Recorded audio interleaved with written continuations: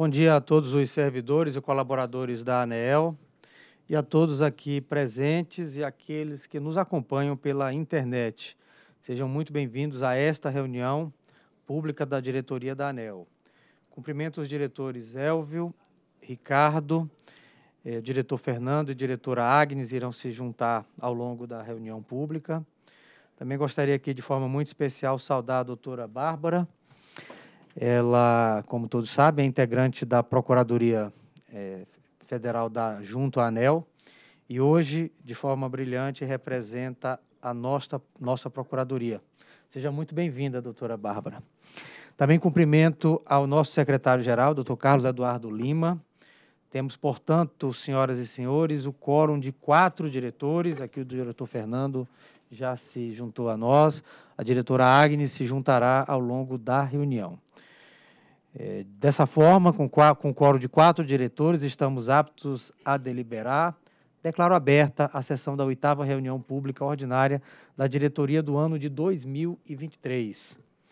Peço licença aqui para fazer alguns comunicados importantes é, que marcaram a agenda da ANEL ao longo da última semana. Na segunda-feira, dia 13 de março, a ANEL participou da 17ª Assembleia Geral da RELOP, Associação de Reguladoras de Energia dos Países de Língua Oficial Portuguesa.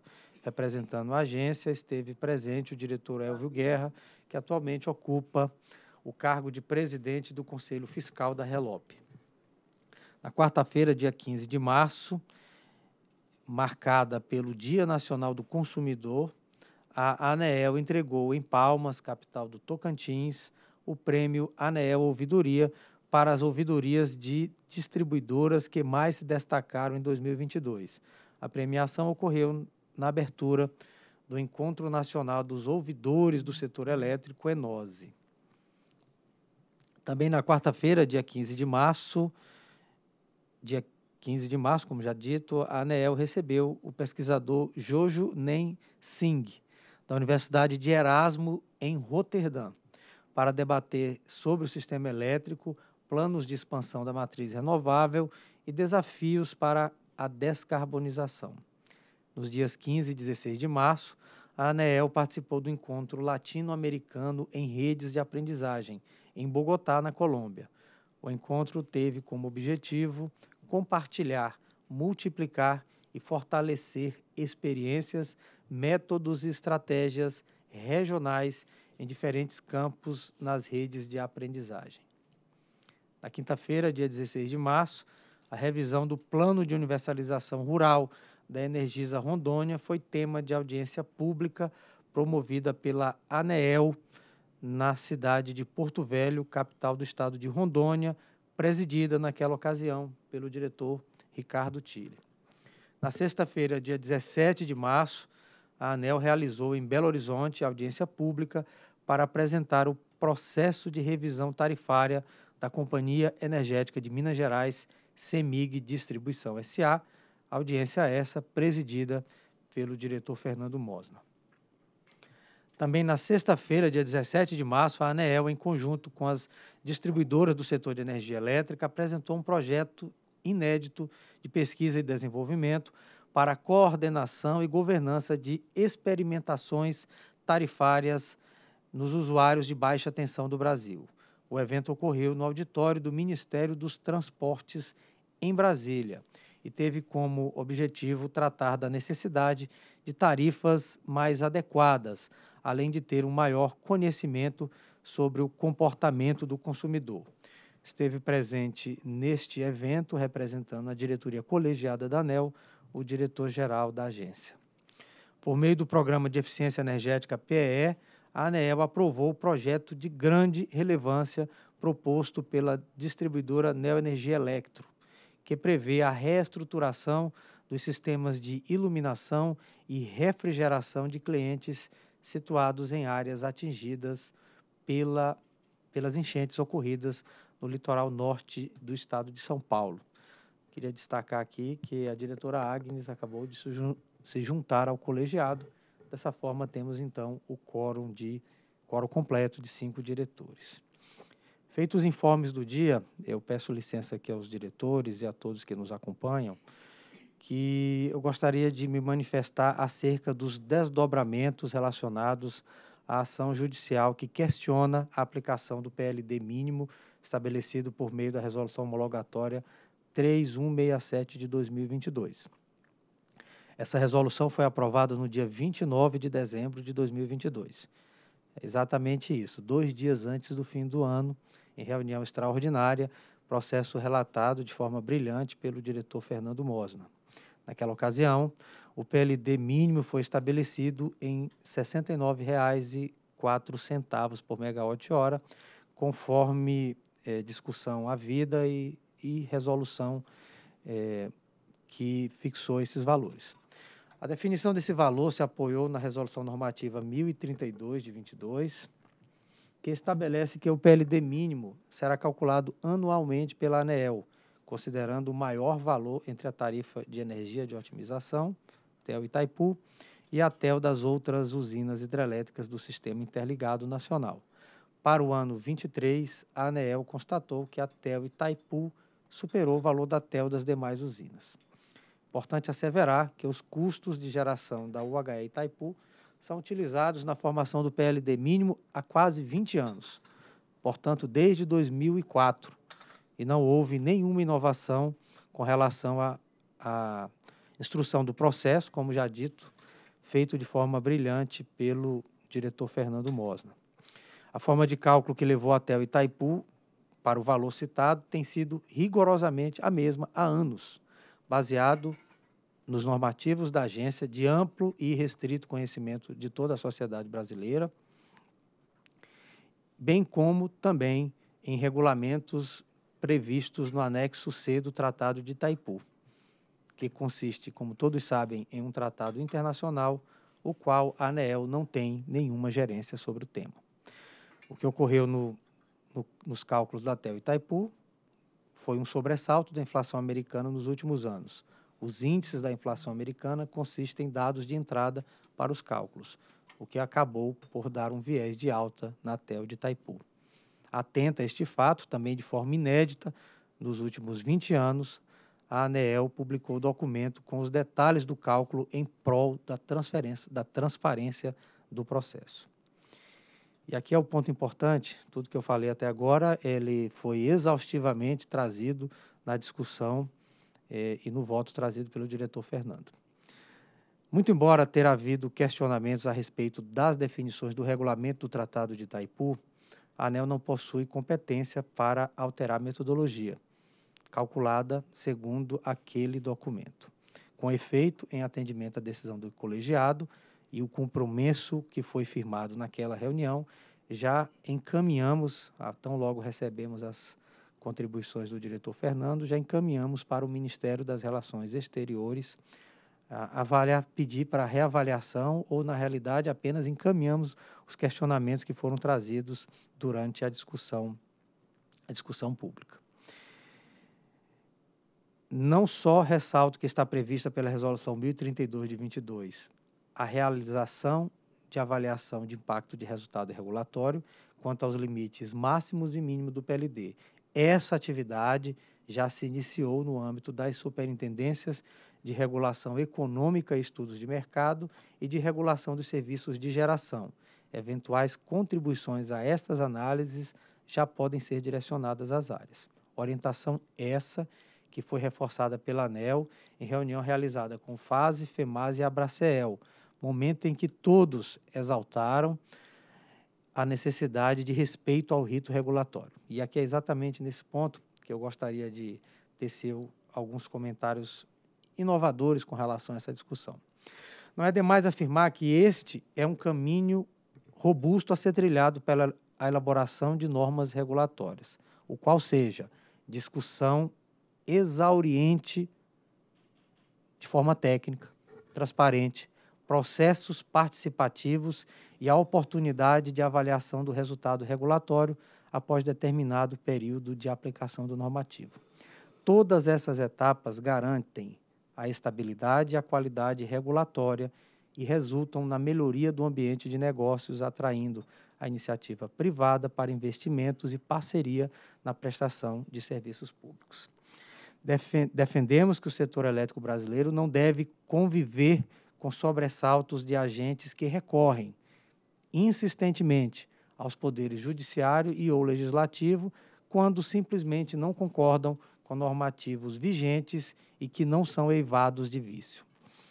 Ademais, a responsabilidade do regulador não se limita a perseguir as boas práticas regulatórias, mas também a propiciar uma relação de confiança, previsibilidade com a totalidade dos agentes do setor. ANEL, em todas as diferentes composições da diretoria, sempre manteve grande respeito e cortesia nos debates regulatórios e na fundamentação das suas decisões. O mesmo comportamento é o ordinário nas comunicações entre as superintendências e as empresas reguladas e o segmento de consumo, sendo diretriz do colegiado evitarmos adjetivações e inferências desnecessárias que não contribuem para o bom relacionamento entre agentes regulados e reguladores. Portanto, causou grande espanto e desconforto ao colegiado e à Advocacia Geral da União a utilização pela Enercore de excessiva, injusta, desrespeitosa e provocativa adjetivação em petição apresentada nos autos do processo em questão. Afirmo que manteremos a serenidade e urbanidade nas nossas manifestações. No entanto, compete-me registrar que para tudo na vida existe um limite. Compete-me também registrar que aqui um limite importante foi ultrapassado. O limite entre a boa e a má fé e o limite entre a urbanidade e o descontrole. É importante relembrarmos que existem regras legais para a atuação judicial dos advogados. Aqui eu cito a Lei 8906 de 95, o Estatuto da Ordem dos Advogados do Brasil, artigo 34, inciso 14, constitui infração disciplinar deturpar o teor de dispositivo de lei de situação doutrinária, de situação doutrinária ou de julgado, bem como de depoimentos, documentos e alegações da parte contrária, para confundir o adversário ou iludir o juiz da causa. Também cita o Código de Ética e Disciplina da OAB, seu artigo 2 parágrafo único, são deveres do advogado atuar com destemor, independência, honestidade, decoro, veracidade, lealdade, dignidade e boa-fé. Artigo 6 é defeso ao advogado expor os fatos em juízo falseando deliberadamente a verdade ou estribando-se de má fé. Artigo 45. Impõe-se ao advogado lhaneza, emprego de linguagem escorreita e polida, esmero e disciplina na execução dos serviços. No mesmo sentido, o Código do Processo Civil, artigo 78, é vedado às partes, a seus procuradores, aos juízos, aos membros do Ministério Público e à Defensoria Pública e a qualquer pessoa que participe do processo empregar expressões ofensivas nos escritos apresentados. Sobre o processo judicial, a decisão proferida pelo meritíssimo desembargador federal no dia 15 de fevereiro de 2023 necessitava de esclarecimento que precisavam e precisam ser sanados. Por essa razão, a Advocacia Geral da União, em ato de boa-fé processual, antecipando-se à própria intimação do magistrado, manejou embargos de declaração dois dias após a decisão para apontar a impossibilidade jurídica de cumprimento da decisão. Aqui destaco que a decisão apenas suspende para a Enercore a aplicação do PLD mínimo, porém não aponta qual PLD deveria ser aplicável ao caso. Os embargos de declaração se encontram pendentes de julgamento desde então. A ANEL, por meio da Advocacia Geral da União, tomará todas as providências judiciais para defender a uniformidade de sua regulação. Portanto, por fim, reputo inadmissíveis as alegações lançadas contra a ANEEL, de que estaria havendo intuito protelatório e interpretação estapafúrdia, exatamente esse o termo utilizado na petição. Termo esse empregado de forma inadequada pelos doutos e ilustres advogados que representam a empresa Enercore. Então, feito esse, esse comentário, que eu julgo bastante importante, para destacar que a discussão ela está sendo feita no âmbito regulatório e qualquer iniciativa no sentido de iludibriar o judiciário ou trazer informações que não são as mais corretas com a ânsia de ter o seu pleito é, deferido por aquele poder, serão firmemente combatidas pela ANEEL juntamente com a Advocacia Geral da União. Peço licença agora para deliberarmos a ata da sétima reunião pública ordinária Pois não, diretor Elvio. Eu gostaria de fazer uma observação, primeiro, uh, me alinhando a tudo que foi dito pelo diretor-geral em relação a esse caso, que realmente é, é inadmissível, como disse o diretor. É, mas também quero fazer uma, uma, uma referência aqui importante. É, um ex-diretor da ANEL que nos orgulha, é, foi ontem nomeado secretário-geral, secretário executivo, perdão, do Ministério de Minas e Energia, diretor, ex-diretor Efraim Cruz. Então, quero fazer aqui, cumprimentar o, o, o ex-diretor pelo cargo que importante cargo que assume, que é o cargo de substituição do ministro em exercício. Então, acho que é um algo que nos orgulha ter um ex-diretor ocupando é, postos como esse e tenho certeza que o diretor Efraim é, fará é, um trabalho também importante no Ministério em, em, em prol do em, pelo desenvolvimento do não só do setor elétrico como sabemos mas também a área de petróleo e gás e a área de mineração no nosso país. Então, eu quero cumprimentar e desejar sucesso ao diretor, ao ex-diretor Efraim Cruz, e também dizer que a ANEL é, está à disposição também do, do secretário executivo para ajudar no desenvolvimento do país. Bem, é, obrigado pelo comentário, é, diretor Elvio. Importante, realmente. Também desejamos sorte e sucesso ao ex-diretor Efraim Cruz e hoje secretário executivo de Minas e Energia, desejando e colocando, como bem apregoado pelo diretor Elvio, a agência à disposição do Ministério para trabalharmos em consonância e harmonia para em prol do desenvolvimento do nosso país. Bem, vamos deliberar agora a ata da sétima reunião pública ordinária da diretoria de 2022, que fora realizada no dia 14 de março deste ano. Se todos concordam com os termos da ata, permaneçam como estão. Declaro aprovada a ata da sétima reunião pública ordinária da diretoria do ano de 2023. Solicito ao secretário-geral que anuncie os processos com pedidos de preferência e os de sustentação oral e a ordem de julgamento definida por esta presidência.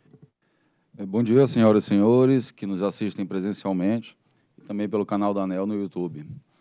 A pauta desta oitava reunião pública da diretoria foi publicada na internet na última quinta-feira, dia 16 de março, contendo exatamente 43 itens.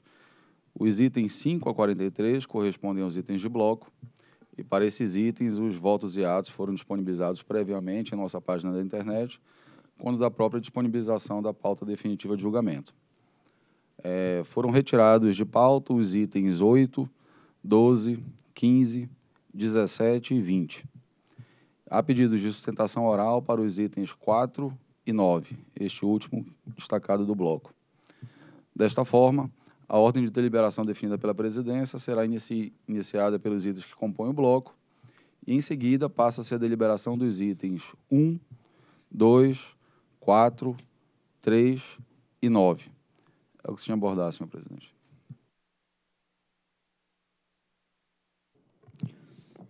Agradeço ao ilustre secretário-geral e submeto aos senhores diretores e à senhora diretora os itens do bloco para julgamento. Eu aprovo o bloco. Eu acompanho os itens remanescentes do bloco. Eu também aprovo os itens remanescentes do bloco. Eu aprovo o bloco. Eu também aprovo os itens remanescentes da pauta do bloco e proclamo que esta diretoria colegiada, por unanimidade, decidiu pela aprovação dos itens do bloco da oitava reunião pública ordinária da diretoria do ano de 2023. Solicito ao secretário-geral que apregoe o primeiro item para julgamento. Item 1, processos 48.500.006892, 2022, dígito 61, e processo 48.500.000.934, 2023, dígito 31. Assunto: Proposta de abertura de consulta pública com vistas a colher subsídios e informações adicionais para o aprimoramento da proposta referente à revisão tarifária periódica da RGE Sul Distribuidora de Energia SA, a vigorar a partir de 19 de junho de 2023 e definição dos correspondentes limites dos indicadores de continuidade de duração equivalente de interrupção por unidade consumidor, o DEC, e de frequência equivalente de interrupção por unidade consumidora, ou FEC, para o período de 2024 a 2028. Diretor relator Elvio Guerra.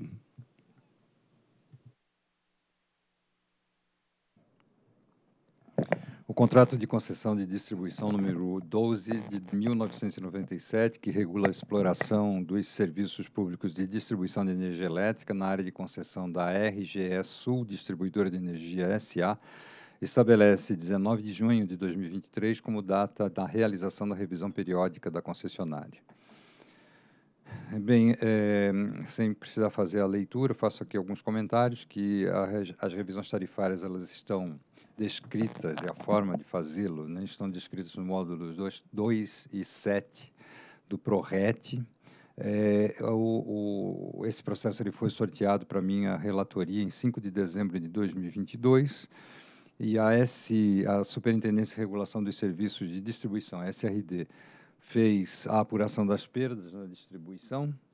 E em 23 de fevereiro de 2023, a Superintendência de Fiscalização Econômica e Financeira, SFF, é, apurou os valores solicitados para a composição da base de remuneração a Superintendência de Regulação, também SRD, fez uma análise da proposta para fixação dos limites dos indicadores DEC e FEC, é, no caso, obviamente, da RGE. Em, em 3 de março de 2023, é, foi é, apresentada a proposta preliminar de revisão tarifária para, para o Conselho de Consumidores dessa distribuidora e também foi feita reuni uma reunião com esse conselho em 7 de março de 2023. Em 14 de março de 2023, a planilha com o cálculo atualizado é, foi encaminhado ao, à concessionária e ao Conselho de Consumidores.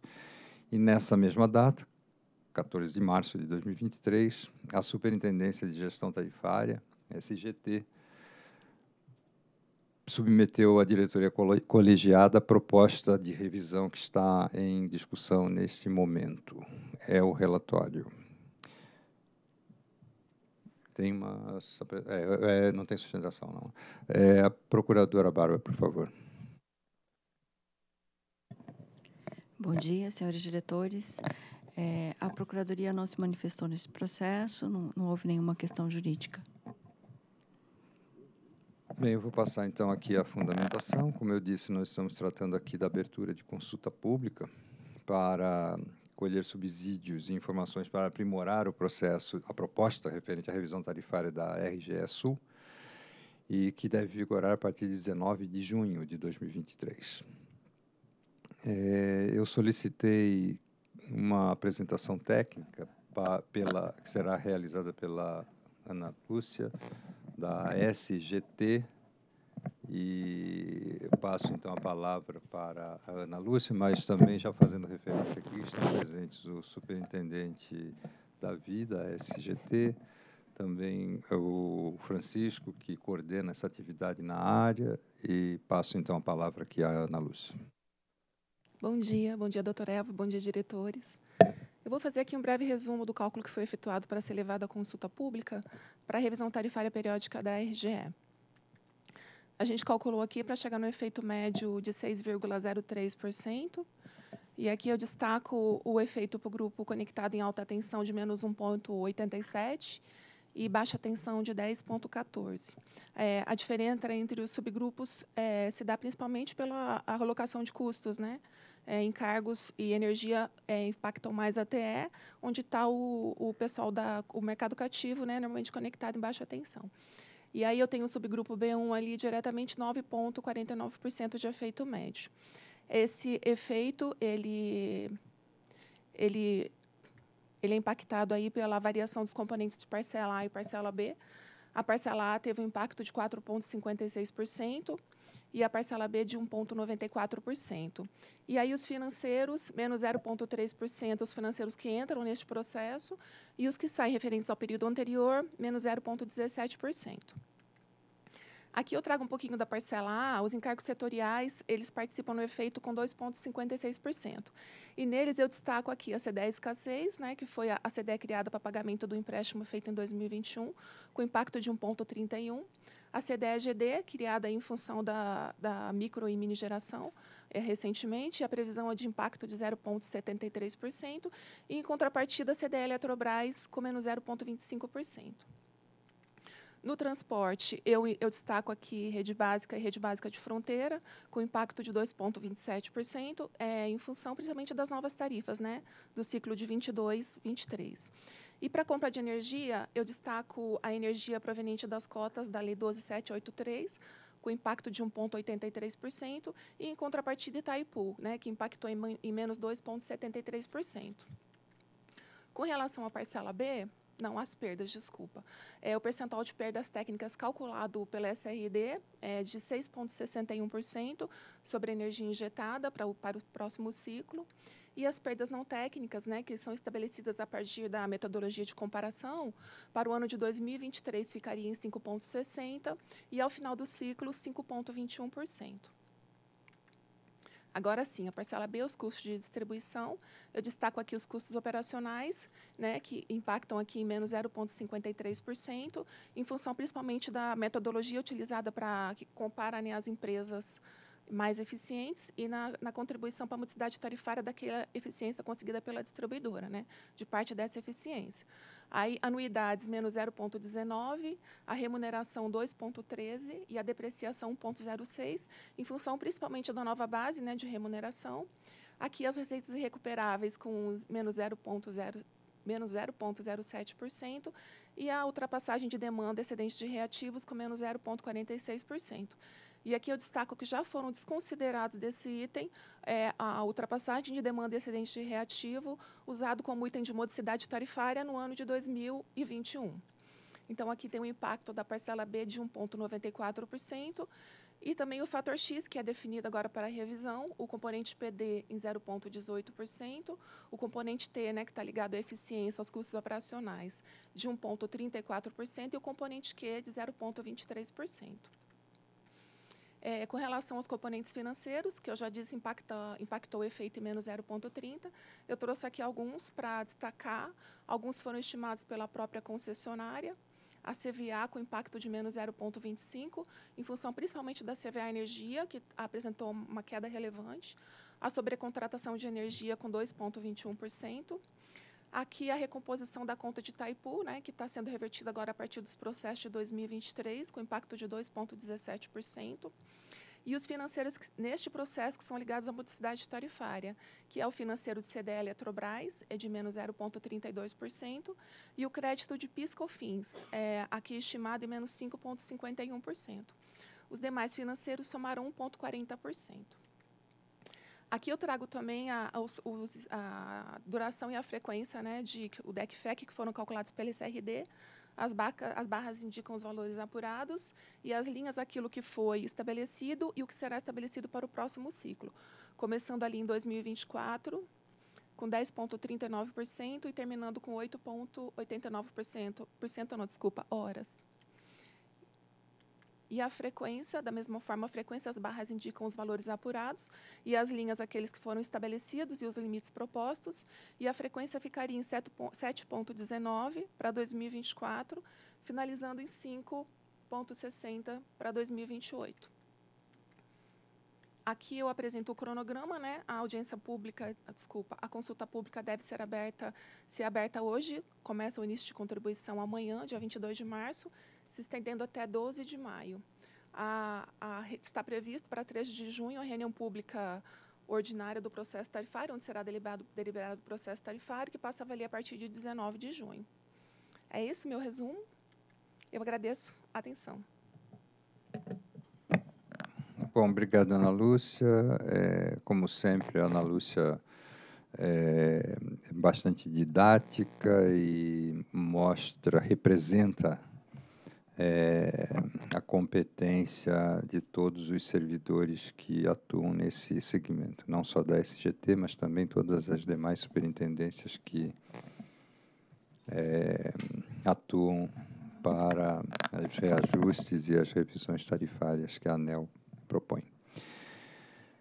Bom, eu vou passar diretamente, considerando o que foi, o que foi apresentado pela Ana Lúcia, eu vou passar diretamente ao dispositivo, considerando o que consta dos processos 48.500.0068.92.2022.61 e 48.500.0000.934.2023.31, voto por instaurar consulta pública entre 22 de março de 2023 e 12 de maio de 2023, com reunião presencial com data e local a serem divulgados posteriormente para colher subsídios e informações para aprimorar a proposta referente à revisão tarifária periódica da RGE Sul, Distribuidora de Energia SA, a vigorar a partir de 19 de junho de 2023 e definir os correspondentes limites dos indicadores de continuidade de duração equivalente de interrupção por unidade consumidora, DEC, e de frequência equivalente de interrupção por unidade consumidora, o FEC,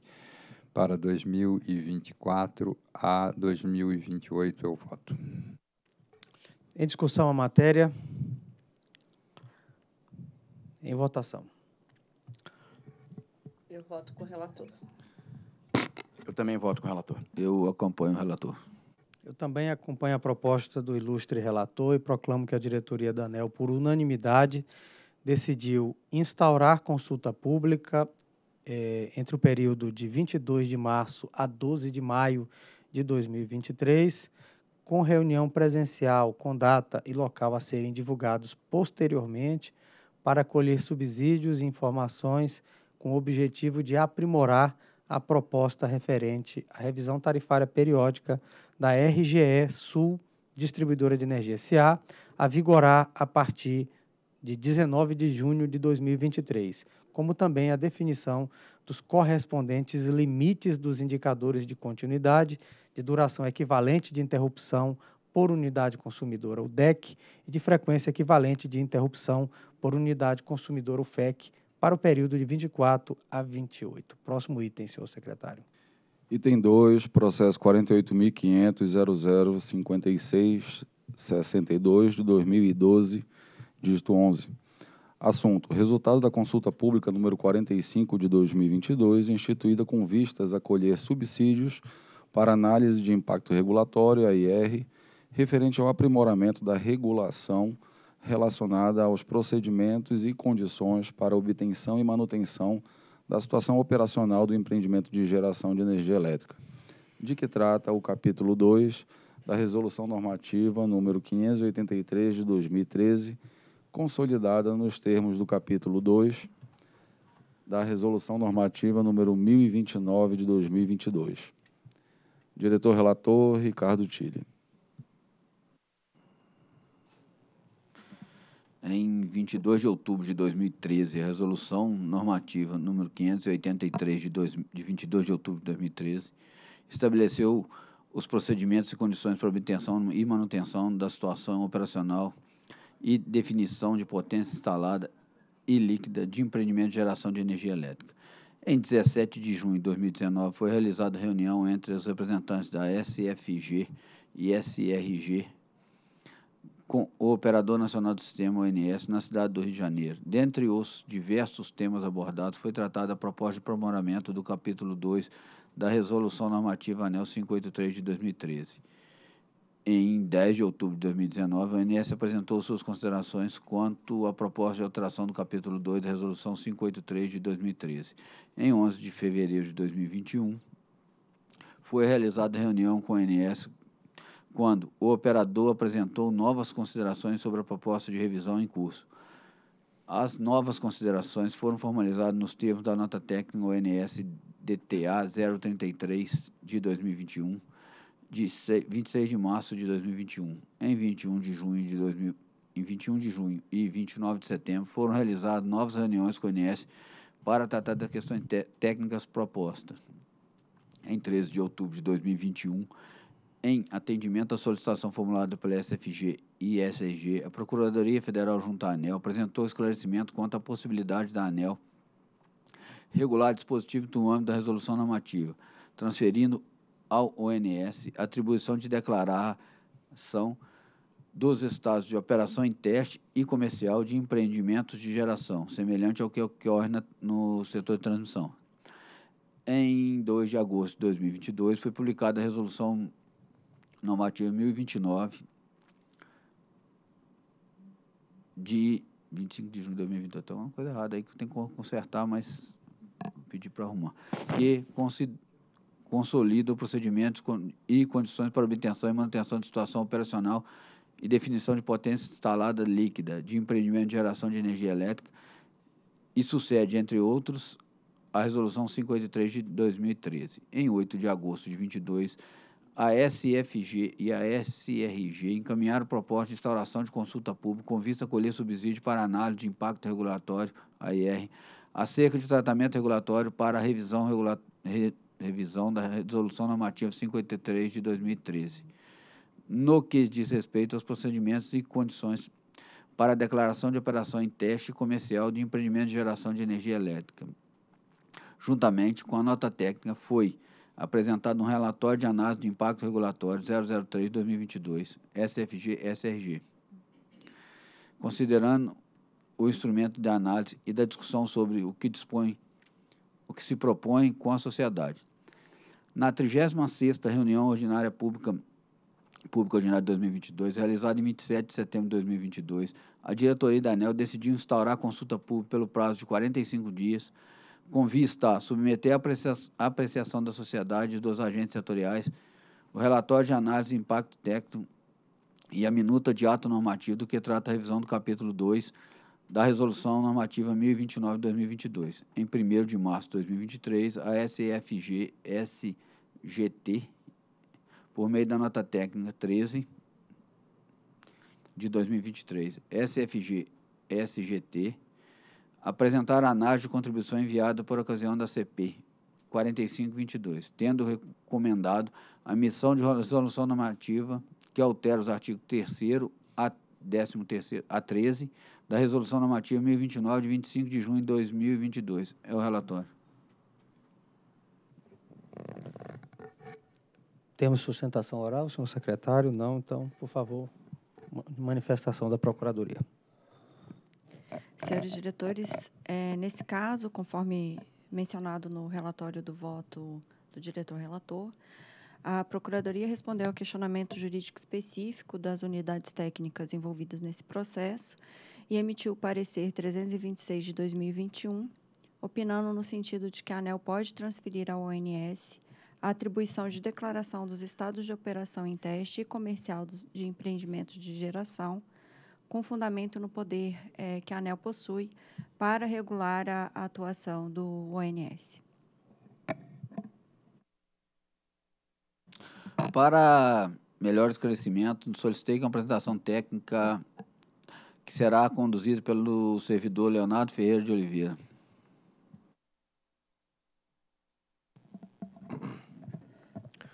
Bom dia, senhores diretores. Bom dia, demais presentes. É, Bom, só, lembrando que nós estamos aqui, a apresentação técnica já é o resultado, então, é, das contribuições, a avaliação das contribuições que, que nós recebemos quando é, da consulta pública 45 de 2022, que colocamos a IR em consulta e uma proposta de resolução. E a gente está tratando aqui da questão da estação operacional de empreendimento de geração de energia elétrica. O que, que motivou esse, esse, esse, trabalho da SFG e junto com a, com a SRG? Bom, primeiro, é, primeiro ponto, a gente buscou lá adequar os procedimentos que estão vigentes há 20 anos para a atual situação é, de expansão do parque gerador. O desenho que nós tínhamos de processo para declaração de operação comercial e teste foi feito para grandes empreendimentos centralizados. Então, a gente, é, com essa transformação tecnológica, alteração de implantação maciça que ocorreu, é, nós buscamos é, tentar adequar, é, simplificar um pouco esse processo e o principal conceito que tinha colocado em mente é que era desonerar alguns empreendedores, alguns tipos de empreendimento da fase de operação em teste iriam direto para comercial. O segundo, o segundo ponto aqui de, de, de, destaque foi ganhar agilidade no processo. Então, a gente fez um estudo é, do que tinha de sombreamento nas áreas, do que poderia ser agilizado, principalmente na, na, na avaliação da SFG e do ONS, acabava que eram processos replicados. E nesse desenho a gente trouxe um conceito moderno, que é um portal único de, de, de entrada do, do, protocolo. Então, todos os agentes vão interagir nesse portal único. A gente colocou esse desenho é, com atribuição do operador do sistema, que é quem hoje já faz a maior parte do processo de é, avaliação desse processo de operação e teste comercial. Então, a gente acabou alocando para ele a, é, essa, essa avaliação e a manutenção do, do, do, sistema nesse portal único. Com isso, a gente ganha eficiência, ganha tempo, o empreendedor faz um processo mais rápido, a fiscalização, que é que tinha um ônus muito pesado na agência de avaliar esses processos, é, tem uma economia de HH e pode dedicar parte do seu trabalho para a equipe é, no COBIS na área que é a fiscalização. E o terceiro ponto foi é, a gente buscou aproximar aí no que cabe a geração ao conceito que existia na transmissão. Isso foi decorrente de uma avaliação desse colegiado lá em 2019, avaliando um processo de declaração de operação comercial da OH Belo Monte. No, na avaliação, a diretoria entendeu que caberia essa avaliação de o que é possível aproximar da geração com a transmissão. Então a gente juntou essas, essas atividades todas e foi o objetivo principal desse trabalho. Nas contribuições, foi muito bem recebido essa aproximação com a transmissão, assim, tiveram várias contribuições favoráveis a isso. E essa avaliação de transferência é, para o ONS com o, o, conceito do portal único, essa, essa economia processual, os dois conceitos foram muito bem recebidos. Esse primeiro que a gente tentou adequar lá à nova realidade, é, depois eu já volto nesse item aqui. Acabou que a gente voltou, é, demos um passo atrás, que é esse item 1, que foi de, de, de, alteração no que foi colocado em consulta pública. Antes desse detalhe, só uma visão geral aqui da, do resultado da, da, da consolidação, da, da, avaliação das contribuições. Então, é, o período de contribuições foi lá em setembro a novembro de 2022. 124 contribuições recebidas de 24 participantes distintos. E é, 57% aí do que a gente recebeu de contribuições foi acatado parcialmente ou totalmente. Vou dar o destaque agora, então, aqui no que, que a gente colocou de alteração do que estava em consulta pública, o que foi alterado diante dessas contribuições é, da sociedade. Primeiro, esse ponto de, de a gente tinha proposto para um grupo de empreendimentos a supressão da fase de operação em teste. A gente entendeu que seria um passo que poderia ser dado, que uma agilidade para o setor.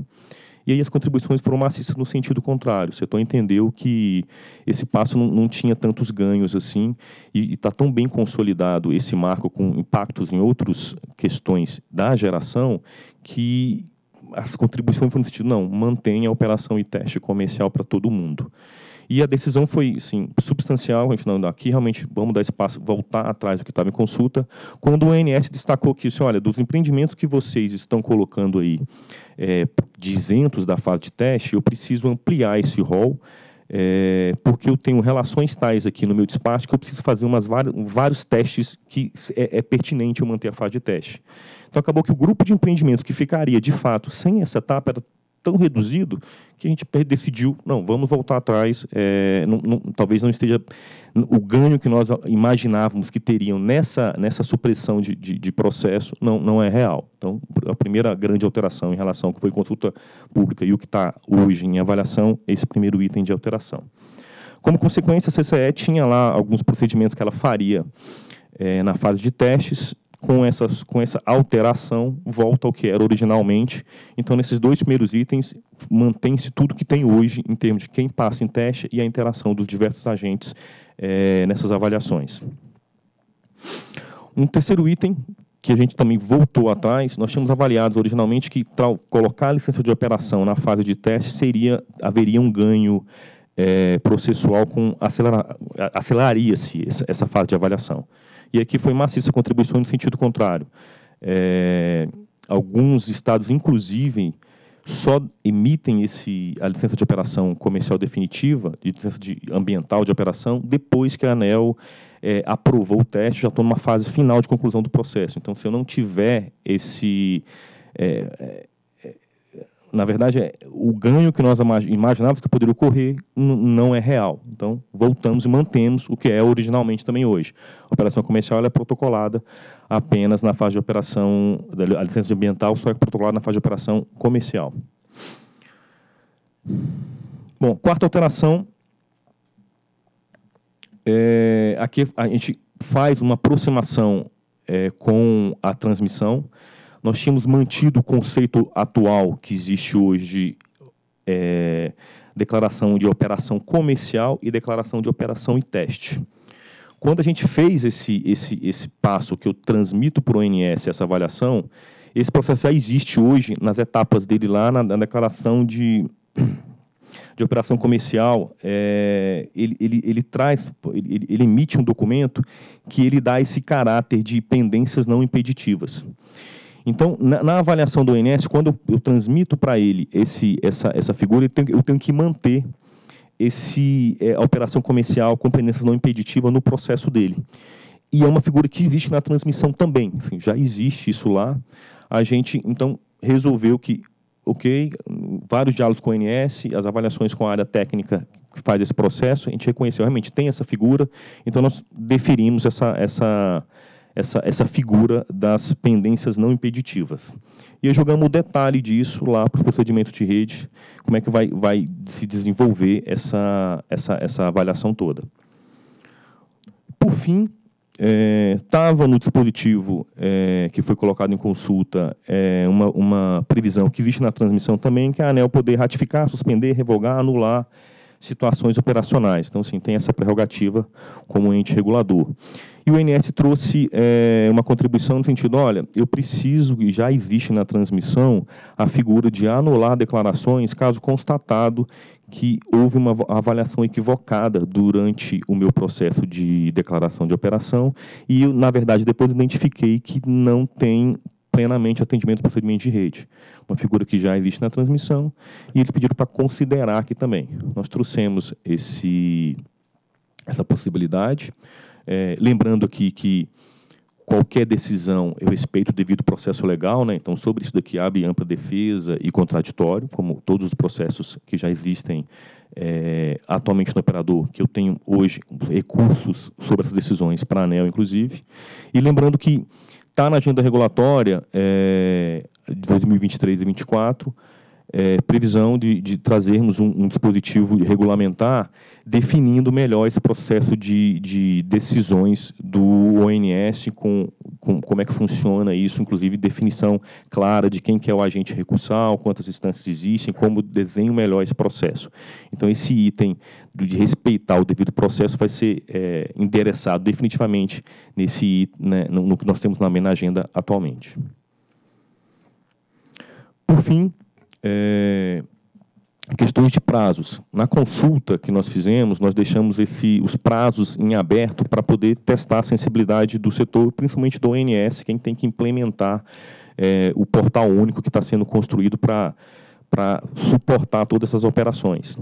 E aí, nas discussões, é, junto com a SFG e junto com o ONS, avaliou-se que ó, o prazo necessário para poder levantar requisitos, colocar em produção, fazer os testes, homologar e colocar efetivamente em produção o portal único, todo essa, essa, essa, essa seus sistemas de informação para suportar esses novos processos, é, definiu-se em 24 meses. Assim, é, o, é, o, prazo que a gente avaliou é, mais assertivo para instaurar essa, essa nova dinâmica de declaração de operação em teste comercial. Consequência disso, Normalmente o prazo é mais curto, mas definimos como 180 dias o prazo para apresentação das alterações do procedimento de rede regras de comercialização, que esse processo vai impactar para essa casa avaliar também é, é, essas alterações. Bom, diretor, acho que é isso. Obrigado, Leonardo, e queria agradecer a toda a equipe da SRG e SFG pelo, pelo trabalho apresentado. Diante da, da apresentação aqui, queria pedir Viane para é, ir direto ao dispositivo, mas antes fazer só um comentário, doutor Sandoval. É, a gente está tentando aqui criar com essa, com essa resolução uma sinergia com a transmissão, ter os processos mais ou menos equivalentes, guardadas as suas particularidades, e, e dar mais agilidade para o setor, delegando algumas obrigações, é, algumas, alguns procedimentos di- diretamente para o ONS. Dito isso, diante do exposto e considerando que consta o processo número 48.500.0055.5662 de 2012, voto por autorizar a emissão da resolução normativa conforme minuta anexo que altera artigo 3 a 13 da Resolução Normativa 1029, de 25 de julho de 2022, que consolida os procedimentos e condições para obtenção e manutenção de situação operacional e definição de potência instalada e líquida de empreendimento de geração de energia elétrica. É o voto. Em discussão a matéria? Eu queria fazer um comentário apenas assim, pra, eh, um comentário para elogiar o trabalho que foi feito e eu acho que é um, realmente é um avanço considerável esse e é, e é sempre isso que nós estamos buscando, né? Avançar e tornar mais eficiente todo o processo que que está sob a competência da ANEL. É claro que a gente sempre, eh, quando avalia né, esses, essas alterações, a gente sempre pensa em o, o fazer o, o, chegar no limite da eficiência, né? Eu mesmo tive dúvidas em relação a alguns pontos e mas acabei é, entendendo que é o que podemos ou que temos condições de fazer nesse momento. É, eu cito aqui, por exemplo, a questão de pendências não impeditivas, né? porque se a gente tem um, um empreendimento, ele pode operar normalmente é, por, mas ainda assim ele tem pendências que precisam ser corrigidas, mas não tem o condão de impedir o, o funcionamento da usina. Eu sempre acho que o, o que nós temos de mais importante é a operação da usina. Então, ela, tá, ela está em condições de operar, vai operar, vai injetar potência no sistema, e mesmo assim eu ainda classifico aquele empreendimento como tendo uma pendência que precisa ser resolvida, mas não impede a operação. Mas é, normalmente são questões meramente, não gosto da palavra, mas é, é a que é normalmente utilizada, são meramente burocráticas, né? são, são questões administrativas, aí, eventualmente falta um documento é, de identificação de um, de um gerente da empresa ou de um, do próprio proprietário, né? Mas eu estou também aqui me, me rendendo a essa, a essa, aquilo que está sendo proposto, embora eu acho que num futuro isso aí poderia ser melhor avaliado, se nós realmente precisamos ainda desse desse instrumento de, como, de declarar como pendência não impeditiva, porque o que nós queremos é realmente que a usina esteja em operação. Mas, enfim, eu, eu acho que esse é, um, é apenas um ponto que poderia melhorar a rapidez, a velocidade né, e simplificar o processo. Mas aqui é, eu me, me reservo o direito de tentar estudar um pouco melhor isso no futuro. Esse ponto, doutor Elvio, é, a gente está tentando criar um mecanismo que o ONS exerça um controle bastante é, pragmático sobre essas pendências, em sendo, colocando prazos, estabelecendo prazos e não, em não sendo sanado, inclusive com o poder de cancela, cancelamento do, da operação comercial, se não sanado as pendências num prazo estabelecido pelo, pelo operador. Esse é o ponto, é porque a gente tem notícias né, de que alguns empreendimentos estão operando há anos, há muitos anos, e bem, operando bem, mas tem uma pendência não impeditiva. Então, eh, eu, eu, sempre fico preocupado de que a gente, por conta de um documento, né, que é, algumas vezes é meramente, eu quero usar essa expressão aqui, meramente administrativo, burocrático, né, que não impede a operação, não impede a remuneração, não impede o recebimento de receita, e correndo o risco de cancelar ou sustar a operação comercial.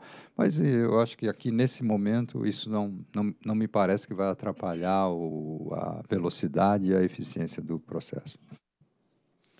É, eu também tenho um, alguns comentários. Desculpe, Fernando. Quer... Pode falar, eu falo depois. Não, tá certo. O meu é um ponto bem específico. Primeiro, parabenizar o trabalho do diretor Ricardo. Tivemos a oportunidade de levantar algumas questões como o próprio diretor Elvio acabou de pontuar. Eu acredito que está caminhando realmente nesse processo de simplificar, otimizar e dar celeridade. Eu gostaria apenas de levantar um ponto que foi tratado na apresentação técnica e consta do voto, até para um maior esclarecimento da minha parte. Na apresentação técnica, o item 5, em termos de que seria alteração em relação à abertura da consulta pública.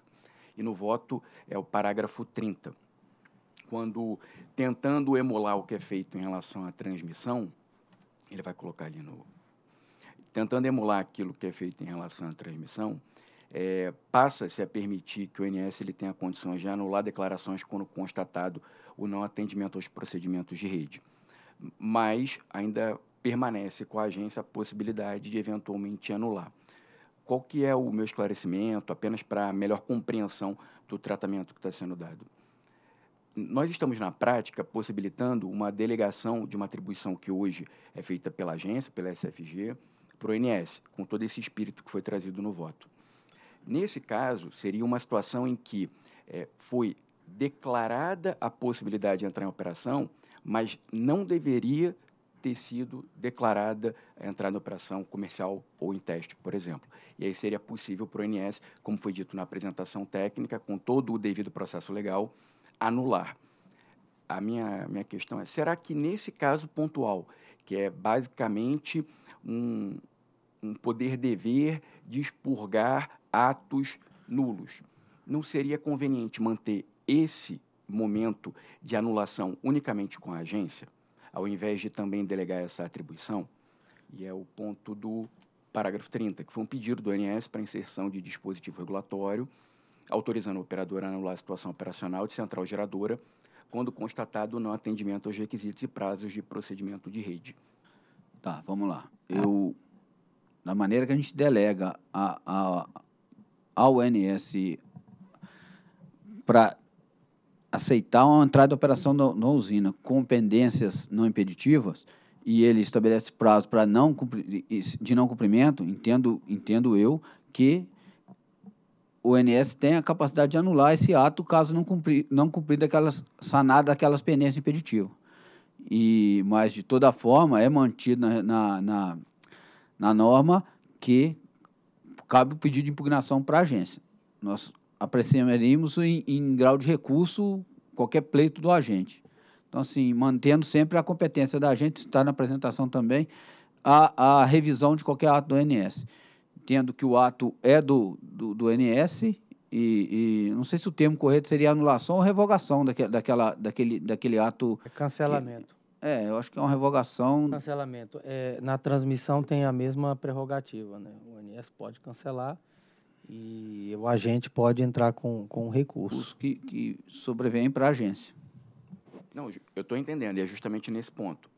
É, seria mais conveniente fazer como está é, encaminhado em termos de sugestão, no sentido de permitir o recurso para a agência, ou seria mais conveniente que a instância primeira e única fosse a agência? Essa que foi a minha é, Eu entendo. Eu tenho, eu, tenho, eu tenho uma tendência a acompanhar o que pensa o diretor Fernando. Alguém tem dúvida de que todos recorrerão? É, mas, mas aí, é, é, tem, eu não tenho a menor dúvida, vem, todos recorreram. Então, nós estamos criando apenas um passo adicional e aí vem para a ANEL, para a ANEL mas, tomar a decisão. Mas tem, um, tem um, um, detalhe importante isso aí. O ENS tem capacidade de acompanhamento da anulação ali muito mais efetivo, operacional ah. do, do que a agência. Então, teria que o ENS, então, em vez de anular, recomendar que a agência anulasse. E aí a agência, porque a gente não tem capacidade de fiscalização. Então, assim, eu estou indo para voltar, na minha visão. É, é, eu entendo que o executório do, do, do, processo que fique com o INS, ele tome as atitudes que, que, não, que não cumpridas os requisitos e anule o ato, ou anule, ou, cancele, o revogue, e, e aí sim, não cabe, não cabe recurso para a agência. Eu, eu entendo é que, que fica mais operacional querendo, e mais prático. Deixa, deixa eu fazer só mais um passo no é. processo, porque todos recorrerão, não tem o menor dúvida. Não, mas eu acho que se a gente não fizer isso, nós vamos criar um passo a mais. Eu, eu acho até que, a, que a, essa, essa observação de que a, a, ONS, que talvez tenha mais condições, eu acho que a fiscalização da geração também tem condições. Mas, ainda que seja o delegado para que ela faça esse tipo de investigação e encaminhe uma recomendação para, eventualmente, a, a, o cancelamento da operação comercial. Que, é o, na verdade, já existe esse tipo de instrumento quando nós falamos com o Ministério de Minas e Energia. Né? Nós recomendamos, por exemplo, a caducidade, nós recomendamos algumas, algumas alterações em empreendimentos para que o, aí sim o poder concedente tome a decisão se vai encaminhar ou não. Talvez seja uma possibilidade, em que pese, aí claro que eu estou olhando aqui para a equipe da SRG, mas eu não estou vendo a SF. Ah, não, tá, desculpe, o Rodrigo está aqui, porque é, aqui foi dito que a, a, S, a, a, nós não teríamos a capacidade de fiscalização. Eu acho que tem, mas de qualquer forma é algo para ser discutido. Eu, eu, é, acho que a diretora Agnes está com a mão levantada ali, mas é, deixa eu fazer aqui só um, um comentário mais amplo. E aí a gente é, eu passo, viu, Agnes, por favor, me peço licença aqui, tá? É, se nós partirmos da premissa que sempre poderá ter recurso para ANEL, a gente poderia, por exemplo, revogar a resolução 545 de 2013, que é a que delega à CCE a competência para julgar os pedidos lá e julgamentos diversos naquela Câmara. Os julgamentos são feitos lá e pode haver ou não impugnação. Então, o que eu acho que o diretor Ricardo cita, que a, a fiscalização não tem a capacidade, não é em absoluto o questionamento da capacidade técnica. Não é isso. É porque a quantidade de, de, de empreendimentos de geração é muito grande. E ali, uma eventual. E, e aí a gente. Agora, vou fazer um recorte para a transmissão. Na transmissão, antes, nós tínhamos uma outra resolução, se eu não me engano, era 464, que tratava da questão da aprovação é, dos, dos empreendimentos, é, emissão dos termos de liberação. Na transmissão, cada liberação de empreendimento ela é dada por função de transmissão. Então, você tem no empreendimento, você tem diversas funções de transmissão. Então, há uma operacionalização muito grande por parte do ONS. Quando a gente fala, às vezes, que falta um pequeno documento, às vezes um documento desse é a modelagem matemática da usina, é uma especificação de uma reatância de um reator, que a empresa não apresenta isso para o ONS, o ONS não consegue fazer as suas simulações matemáticas de operação do sistema. Pode ser, às vezes, um documento, um CPF de um empreendedor. É possível que seja isso. Mas, assim, trazendo a experiência que tinha na transmissão, nós tínhamos na época, quando se pensou lá nos 10%, e depois evoluímos para os 20% de desconto da receita, que é o que está previsto na 841, foi exatamente porque os 10% de retirada de receita não deu incentivo suficiente para que as empresas ainda assim permanecessem com as pendências não impeditivas. Então, migrou-se a 10%, se eu não me engano, no primeiro ano. Se passar mais de 12 meses, aí vai para 20% do desconto. Então, eu acho que com a rede de transmissão cada vez mais complexa, a rede de, da rede básica cada vez mais complexas, eu acho que o ONS, juntamente com os agentes e a ANEL, vão ter equilíbrio em determinar aquilo que é impeditivo e aquilo que não é impeditivo. Agora, o não impeditivo não pode ficar eternamente, porque pode ser coisas simples, e aí a gente, às vezes, pode até pensar assim: é simples ele não indicar quem é o, o responsável pela usina, por exemplo, junto à ANEL. Quando a gente for mandar uma notificação, a gente não sabe quem é a pessoa, porque ela não está atualizada nas bases aqui da ANEL. Então, eu acho que é, o, a minha, é, não é crítica, mas o meu ponto de observação na instrução, primeiro, é que o caso que culminou essa instrução foi o caso de Belo Monte e eu me recordei que fui eu que dei essa determinação quando relatou e, foi acatado pela diretoria da ANEL. E eu acho que migrar para a transmissão hoje é um processo na transmissão muito bem detalhado, tem um sistema, a ANEL tem lá um checkbox que ela autoriza aquela função de transmissão. Estou imaginando que é algo nesse sentido que nós vamos evoluir. É, eu só deixaria o seguinte ensinamento. É, é o ponto de, de enforcement para exigirmos a complementação das informações, elas não deveriam ser discutidas muito lá para frente. Porque na transmissão você tem, o, você tem como dar um gatilho ali, olha, eu vou reter 10% da tua receita. Nesse caso, são agentes do ambiente livre. Como é que eu vou fazer isso? Então, se nós não cravarmos aqui já, nós não vamos conseguir fazer isso. Porque vai ser dito que o preço foi negociado e que a ANEL não poderia mudar isso e, e tudo mais. Então, Ricardo, acho que a minha observação é, eu acho que eu até refaço a minha, o meu comentário anterior de que eu seria, em princípio, contra, mas eu acho que é possível evoluir.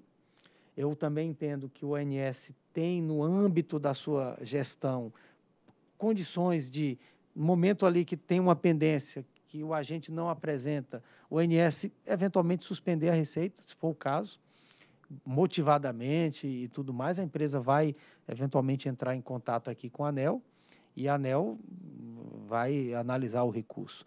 E a gente tem que lembrar também que nós demos uma diretriz para as áreas de regulação, tanto SRT como SRG, no que couber atribuir competências para o ANS em norma e que nós tivéssemos o poder recursal. Então, uma situação como essa eu vejo na operacionalização, se o agente não cumpriu os procedimentos de rede, é, pactuou lá que iria sanar determinada pendência e não sanou, ah, imagine a, a via crucis que nós teríamos.